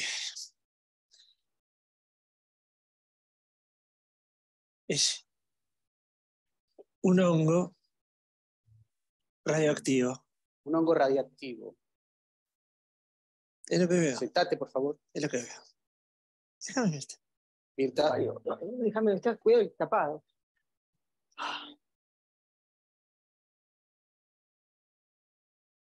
Yo pongo radioactivo que, que se expande hacia el interior de la Tierra. Un hongo radiactivo que se expande hacia el interior de la Tierra. Exacto. Gracias, Mirta. Martín. A ver. Hongo radioactivo que se Pensa en poética, Martín. Sobre pensamientos sobre pensamientos inconclusos. Sobre pensamientos inconclusos. Excelente. Una bomba atómica que arrasa el centro de la Tierra con pensamientos inconclusos. María Teresa, ¿cuál es el concepto de ese símbolo? El comienzo de una nueva generación. El comienzo de una nueva generación. Vamos, un cóndor. Un cóndor, y a ver. Martín, eh, con pezuñas de tigre. vamos. Y, Contra ese y generan tierra fértil. En tres, en tres. Tres caminos de tierra. Neutralización, parate, carajo. Y el exceso. La neutralización y el exceso. Rápido. En el rancho de la vieja. En el rancho de la vieja, Eduardo. Escudos de miel en el rancho de la vieja. escudo de miel, el rancho de la vieja y, la, y el, el, el botulismo. Y el botulismo, una enfermedad. ¿Cuál es el concepto? Una, Vamos. una pobreza dulce. La dulce pobreza. La dulce pobreza. dulce. ¿No te gusta? Ese es el Me concepto. encanta. Vamos, Martín. La, la carnicería de la vida. El concepto to- es el cordón de plata. Cordón de plata. Este es el cordón de plata. Cordón de plata, dijo de Martín. Vamos a pasar a la siguiente. Ah, cañas, cañas de bambú. Cañas, listo, es eso, caña de bambú. Cañas este, envenenadas. Cañas envenenadas, caña de bambú envenenadas. De un luchador de Kung Fu. Y un luchador de Kung Fu. Vamos, concepto corto. La independencia mental.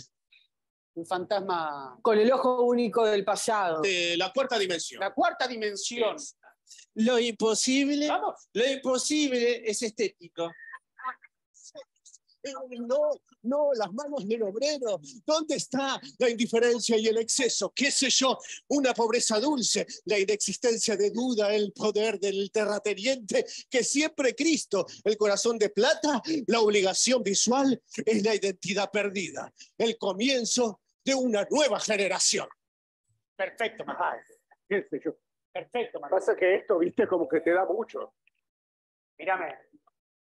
Bien. Gracias, porque es como la, la sombra te da mucha luz, ¿viste? Esto. Eh, Me gusta ese concepto. La sombra te da mucha luz. acá también. Ah, Si lo vemos como un cuadro único, es, es infinito, ¿no? Bueno, eh, cuando, cuando ellos empiezan eh, a articular esa manera eh, y hablan de nosotros, se pronuncian de desde ese lugar, eh, aparece un colectivo, ¿no? Aparece un colectivo donde nosotros empezamos con, con Juan Manuel a delinear. Cabe mencionar que, que Juan Manuel también es un personaje armado, ¿no? El director de teatro también está haciendo de, de otro Frankenstein que, había mencionado, ¿no? De la firma, de la carta astral, de los retratos, bla, bla. Eh, entonces, eh, hicimos una- unas entrevistas a, a estos, a estos personajes y empezamos a armar un guion para una obra de teatro. Por eso estos son ensayos. Pero lo que resolvimos es que este grupo de personas es un colectivo de artistas, de artistas, y cada uno tiene una característica. Entonces, eh, lo que hice fue darles un ejercicio a cada uno sobre una pintura, hacer un video, eh, hacer un collage, hacer eh, una, pieza de un stencil. Entonces, cada uno tiene eh, un medio específico y una forma ¿no? de, de representarse y de representar su universo y el mundo. Y para eso, claramente ellos se adjudicaron ese nuevo lenguaje. Ese nuevo lenguaje tiene un sonido, eh, hablan como...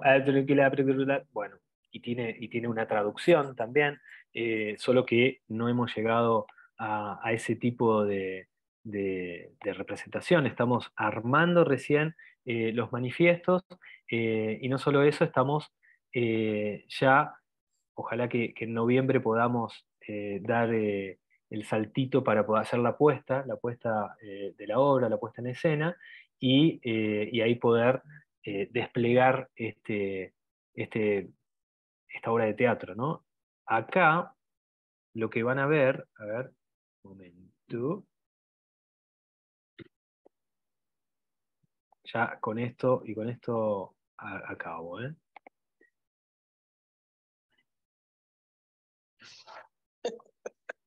Ok, es ese.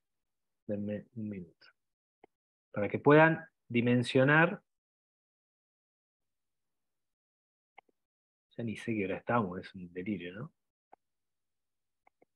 Ahí vamos. Con esto terminamos. Se ve, ¿no? Sí, perfecto. Listo, vamos. Como que se ríe de cosas que, que ella solo piensa.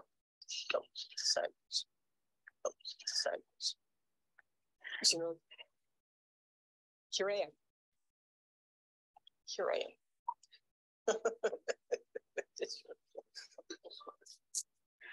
Sí, ¿no? Eso, la manito, todo eso gestual no sirve. Cómo se acomoda el pelo, cómo se toca la frente.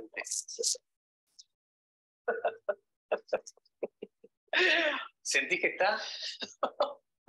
Un poquito más. So, so, so, so.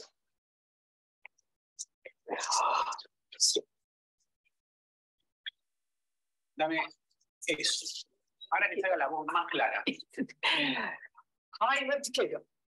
It's the cable. En castellano. I'm sorry. Perdón, perdón, perdón. Eso. Toqué sin querer, toqué sin querer, me, me acomodé, me se Sí, pasó un hombre cerca. Espera que no tenía los ojos abiertos. Ahora sí, Mirta, abrí los ojos. ¿Cómo estás? ¿Qué tal, Mirta? ¿Cómo estás? ¿Y vos? Bien. Mirta, vamos a hablar un poco de tu vida, ¿te parece? Bueno. Queremos conocerte, la gente quiere conocerte, quiere saber eh, quién sos. ¿no? Depende de lo que quiera contar. no sé. ¿Sos una persona Vaya. reservada? ¿Cómo? ¿Sos una persona reservada? Puede ser, un poco. ¿Sos un poco reservada? Sí, un poco, un poco más. No sé, no sé, depende. No sabemos qué puede pasar hoy. ¿Qué? ¿Tenés algunas cosas así? Vamos, eh, primero paso a paso. Perfecto. Mirta, yo quiero conocer eh, de tu identidad un poco, entonces te voy a preguntar, la primera pregunta es, eh, el primer recuerdo de la infancia que tenés. lo tenés. Pensalo, tranquila. Hace memoria. Podría decir. Ah, Viajo manzano. Viajo manzano en la quinta de Tata. Está avanzando hacia mi cuerpo. bueno. Yo estoy en una cama, una cama con un Podría barrote de bronce, que por momentos de cuando los toco me dan frío a la noche, ¿no? eh, muchos años de mi infancia, compartido en el campo de Tata. Y llego a vivir en el campo también. Pero lo curioso es que la topadora no está manejada por nadie. ¿Se entiende? Sí, sí, sí. ¿Lo Está ¿Lo analizaste alguna vez el sueño? Ver, Hay cosas que me cuestan, pero yo, yo intento pensar que, que, que la topadora esa, en un punto soy yo. como una fila de grifos donde todos tomábamos agüita. Algunos años. y en el medio estaba esa plaza, ¿no? Y, eh, había algo que todo el mundo comentaba en, en el pueblo. Yo no es que era de Chivilcoy, pero iba mucho ahí a visitar a mis tíos. Se movía una, una, este, una hamaca se movía sola, decía. Pero, de alguna manera hay algo de de grifos donde todos tomábamos agüita. algo en mi obra que yo podría decir que tomo, que está relacionado con el. con. Con el Tata, sí. Con el Tata, específicamente. Específicamente. En relación a eso, te quería hacer una pregunta, pero que ya la estás respondiendo en un punto. Entonces, ¿para qué me la haces? ¿Para qué me la estás haciendo? Yo no, vos pensás que las pirámides, ¿por qué había pirámides en Egipto y hay pirámides de golpe aztecas o mayas? No, porque me parece interesante. Tres años, o sea, bien, bien, bien, bien de cuando era chiquita. Figura eh, fundamental en tu vida. Y parece que el Tata es una, una figura en tu vida. Por figuras pueden decir varias, no. No tengo una sola, no. ¿Quiénes serían esas figuras? Podría pensar en Da Vinci. Podría pensar en. Podría pensar en la Coca Sarli. Podría pensar.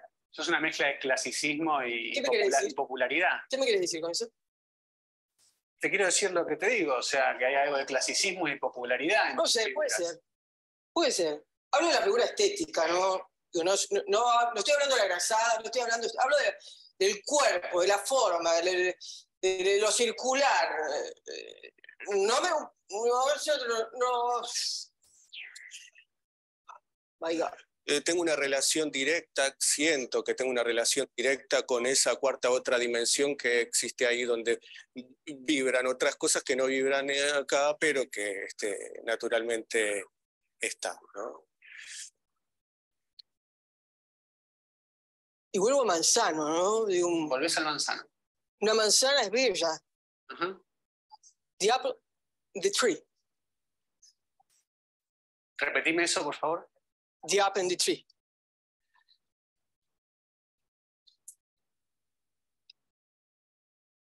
Una, una, una hoja de otoño cayendo del árbol, deslizándose del aire, flotando. y- Eso es bello.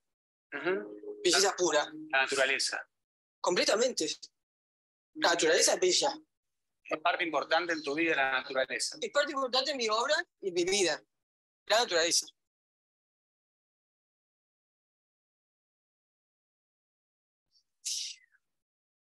¿Cómo ingresaste en el colectivo? ¿Cómo Bueno, podría decir que un poco por insistencia. Vos insististe para entrar. Un poco por insistencia. Quería formar parte de. The part of that group. Bueno, nada, que es en el pecho eso que se siente, que es muy lindo y que, que se agradece.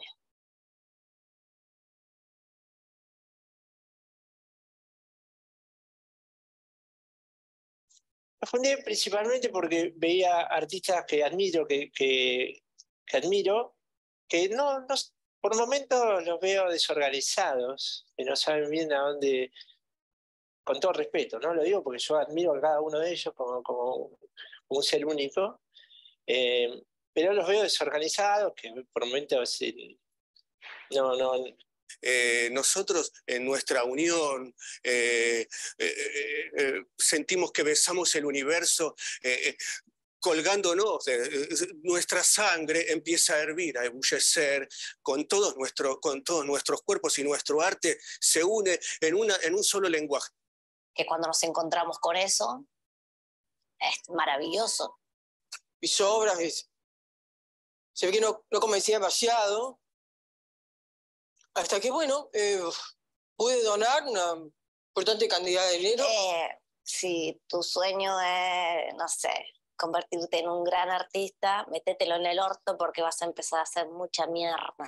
Es desequilibrio, es sensibilidad, es penuria, eh, eh, es oscuridad, es llanto, todo eso es un mismo colectivo. No la droga, la droga tiene que ver también, pero no la droga solo por la droga, por, eh, sino la droga es de la sensación que te deja esa droga que somos nosotros mismos. El colectivo es como si fuera una droga infinita.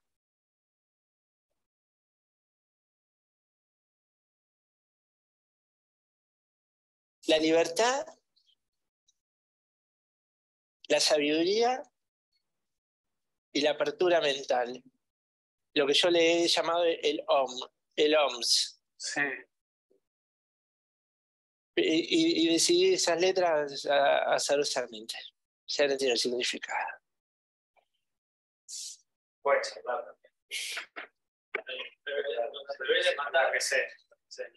Matar. Por ahí que puedes hacer una grande. Voy a eh, joda- Ahí hay hay joda que en Alcina y en Entre Ríos. Sí, esa es la casa que voy.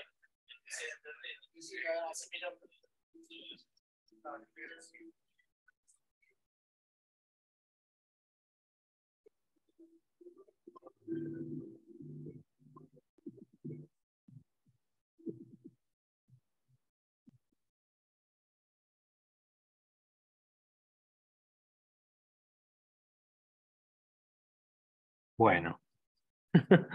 Eh, a veces la- las presentaciones yo las, eh, las voy improvisando y, hoy tocó más eh, como toda la parte teatral, ¿no? Tal vez es porque estamos trabajando hoy las, sí, el manifiesto y, toda la parte lo que conforma armar una, obra de teatro. Tenemos esos ensayos, tenemos los personajes y, a partir de eso estamos eh, trabajando la apuesta, ¿no? Eh, bueno, no sé, me gustaría, antes de, terminar, aunque sea tener algunas eh, reflexiones o lo, que tengan ganas. Como hay, hay más proyectos, o sea, es mucho más grande el proyecto, pero me parece que podemos centrarnos en eso y nada, charlar un, ratito o ustedes les.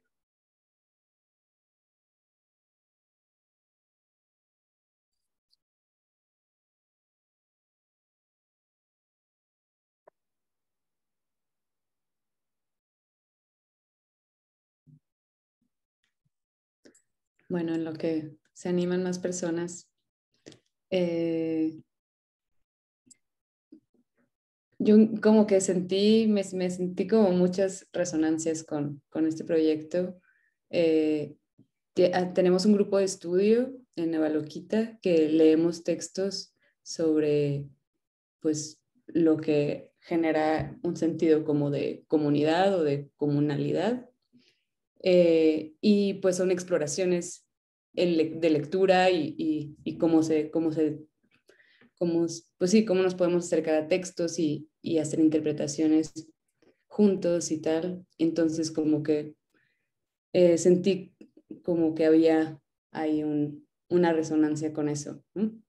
Em, como en toda esta onda con, con las capas y con las reverberaciones que hay como entre pasar las traducciones, ¿no? Como pasar de, de imagen a texto, y, eh, también como todos los ángulos que se generan eh, desde la instalación, ¿no? Como, em, yo creo que algo como que me, que me queda como un poco como duda es, siento que en lo que nos contaste pasa mucho, eh, como que pasa mucho un, bueno, este, ¿cómo es el título? Algo como del autor.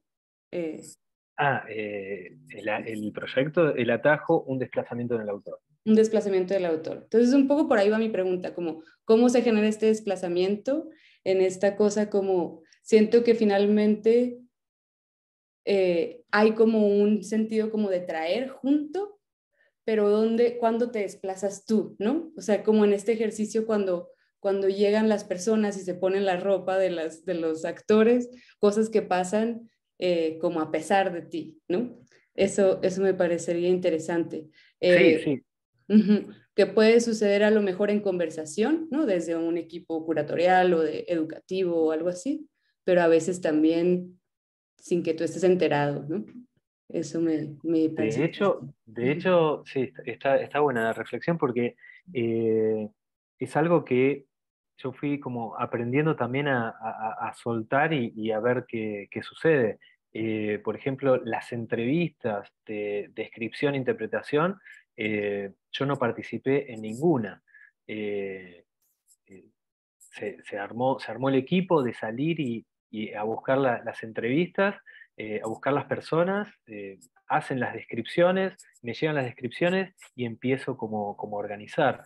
Eh, hay algo de, también ver qué le pasa al que está colaborando conmigo y cómo lo resuelve. Y yo lo acepto, no, no, no modifico esa, esa forma de mirar y, su propio background y su propia historia.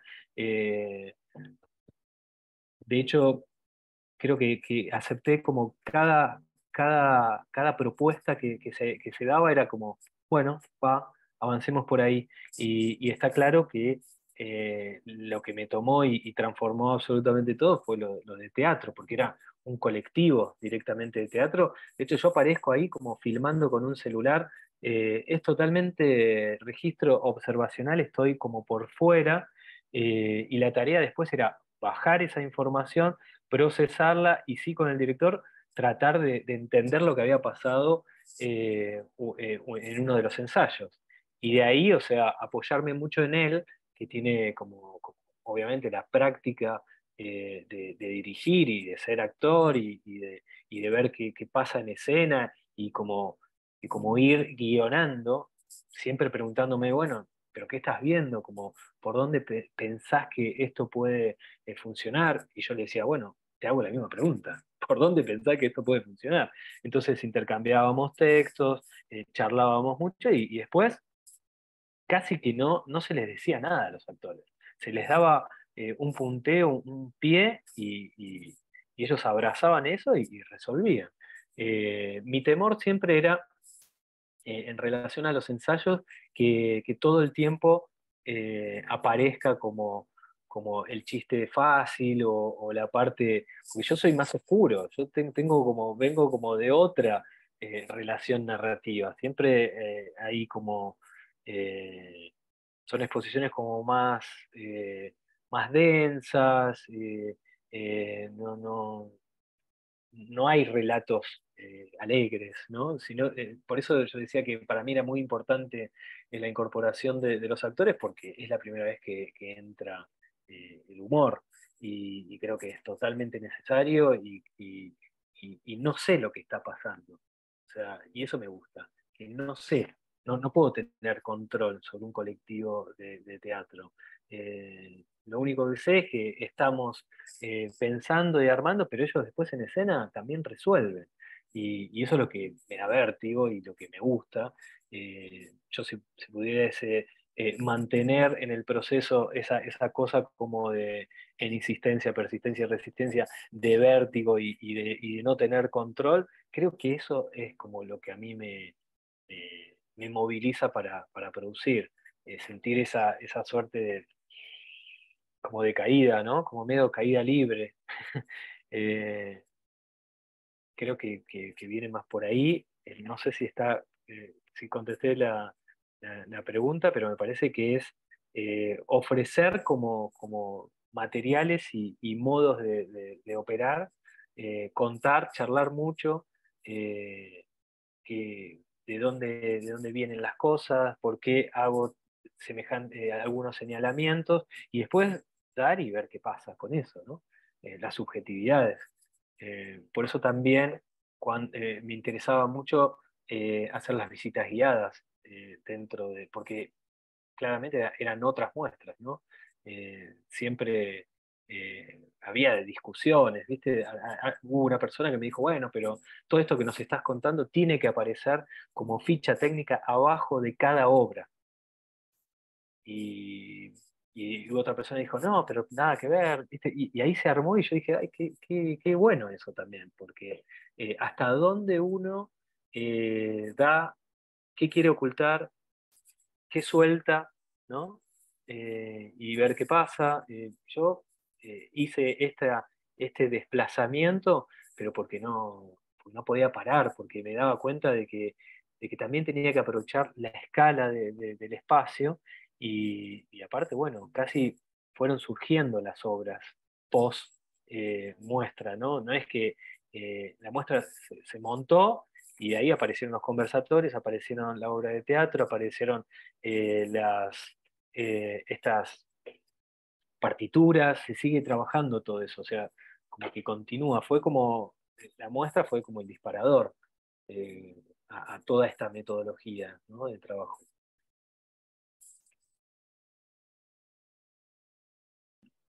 Súper, me encanta eso. También como aprecié mucho los videos porque nos, como, no sé, como que nos platicaste, nos describiste el espacio, pero la rampa no parece que es tan grande en algunas imágenes, ¿no? Claro. sí. Bueno, eh, eh, la, instalación eh, ahora se desarmó y se volvió a armar en un museo campo, está al aire libre. Eh, se le hizo un tratamiento a la madera para que no, se pudra, eh, pero bueno, ahí está. Se va, se va a inaugurar el museo creo que a, fin de año y se va a inaugurar esa pieza eh, con la obra de teatro adentro. ¿no? Eh, es el Museo Campo de, Cañuelas, que es de la Fundación Tres Pinos, del Museo Marco.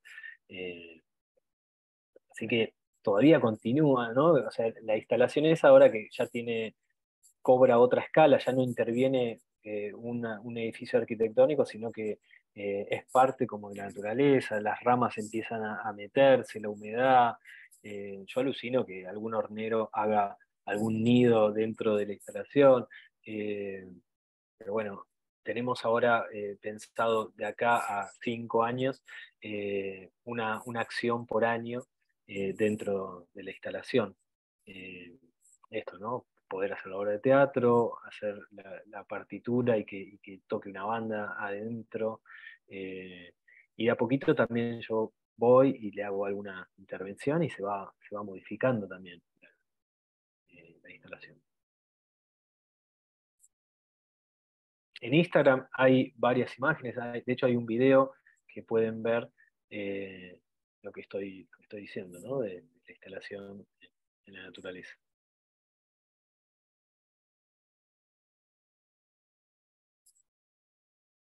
Bueno.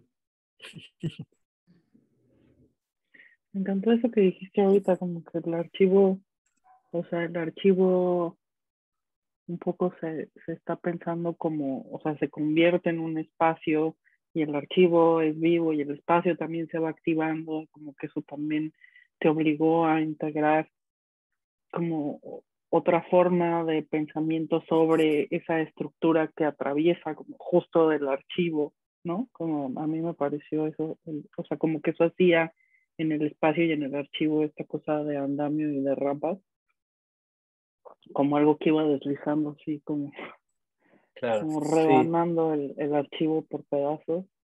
Y como que por un lado, cuando empezó la charla, como yo decía, qué loco, como que él es una especie de oráculo que, como que yo decía, ¿de dónde encontró ese archivo de identificaciones? Así como, como, ¿cómo es que de pronto de tanto buscar también te empiezan a llegar cosas que de alguna forma se están llamando y luego con ese material hacer este tipo de lecturas, invitar a esta gente a que, o sea, que influyeras tu mamá a hacer este tipo de lecturas. Como que todo va tomando una cosa, como que se va amasando y va tomando una cosa mucho más compleja. Y justo eso, ¿no? Como que se van adhiriendo capas. Y al final ver los videos, pues un poco yo sí me vi como teniendo estas discusiones mentales con uno mismo y en la impotencia un poco como de estos actores así de tratar de describir qué estás haciendo, ¿no? Como ya de pronto tanta información se vuelve tan abrumador para uno que ya, yo sí de pronto me siento así, como que ya ni siquiera sé o no puedo explicar lo que estoy intentando hacer, ¿no? Y como que en eso me vi y dije, pues sí, así se siente, o sea, es tan gracioso porque así se siente, ¿no? Así se siente uno cuando está en su cabeza.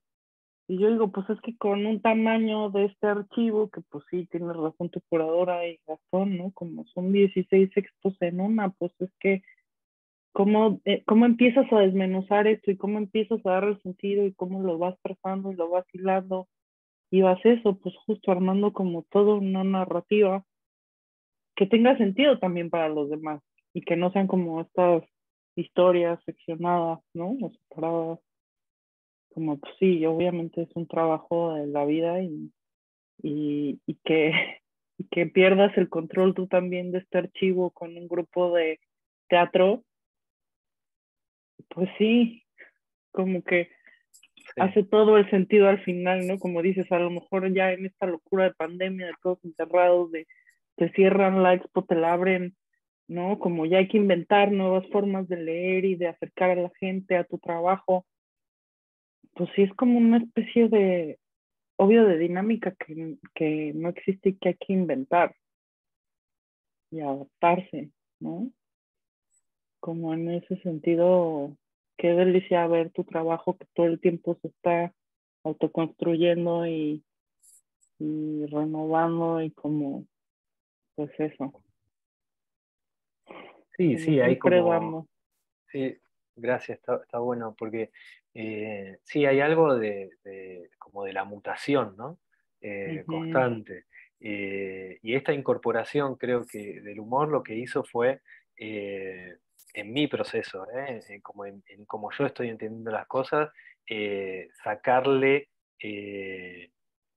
no es que le resta importancia como a las series del índice o del glosario, sino que le mete oxígeno, lo, empieza como a, llevar a, la cultura popular, o sea, que es lo que a mí me interesa, eh, y no queda como intelectualizada eh, los procesos, sino que empiezan como a, eh, ¿qué es lo que yo intento? Que poder, o sea, que, la obra pueda meterse como por todos los lugares, ¿no? y, que no y que no sea como para, para un solo sector, para una élite, ¿no? Eh, sino que pueda, pueda estar como más vinculado a, sí, a, la, calle o, a procesos eh, socioculturales, ¿no? O sea, procesos populares, ¿no? sociales.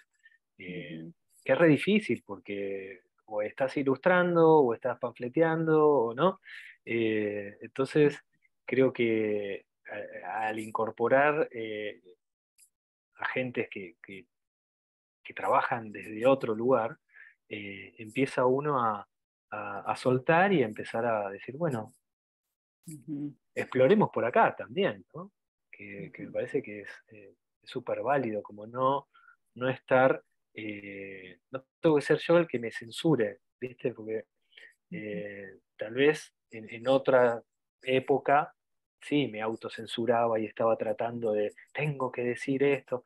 Bueno, y el decir, eh, en, materializar esa, esa obsesión, eh, durante años, bueno, va mutando, ¿no? Eh, uno se vuelve más flexible, ¿no? Y con, con otras experiencias de la vida, siendo padre también, o sea, uno se vuelve como que empieza a abrir más esos procesos y, y, también como el poco tiempo, ¿no? Yo produjo un montón, pero produjo en muy poco tiempo. Eh, también eso, como aprovechar el, momento para canalizar y sacar, ¿viste? Y soltar. Pero nunca solo. Ya, yo ya me di cuenta que no puedo trabajar solo. Que necesito de un otro, o sea, para poder, eh, eh, que sea discutir, tomar un café, charlar y ver qué forma tiene esa, conversación, en qué deriva. Eh, una de las cosas que, aprendí con este proyecto es que eh, nunca más quiero pensar solo, ¿no? y eso me parece que, está bueno, porque, no sé, me hace bien, ¿no? y lo disfruto. ya no, estoy peleando con mis monstruos, ¿no? Los comparto y el otro me habla también de sus monstruos y, ahí vamos, ¿no?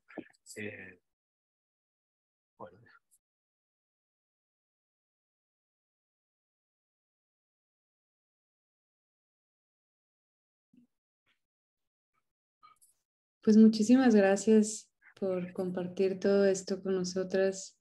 Eh, muchas gracias a todos los que nos acompañaron. Eh, pues sí, yo creo que nos vamos a quedar con muchas cosas aquí dándole vueltas y, y seguir encontrando resonancias cuando salgamos de este, de este cuadrito. Eh, pero sí. Bueno, muchísimas gracias. Gracias a todos los que están ahí escuchando. Y bueno, gracias, Gualoquita. Eh, le mandamos a Ixchel fuerte abrazo, eh, que anda por allá. y bueno, a seguir, a seguir produciendo. Me parece que, el proyecto de ustedes es, alucinante y, y bueno, se van sumando colaboradores, ¿no? Y, eso me parece que está, bueno. gracias, pues muy correspondido. Fuerte abrazo. Eh, igualmente. Gracias. Chao, chao.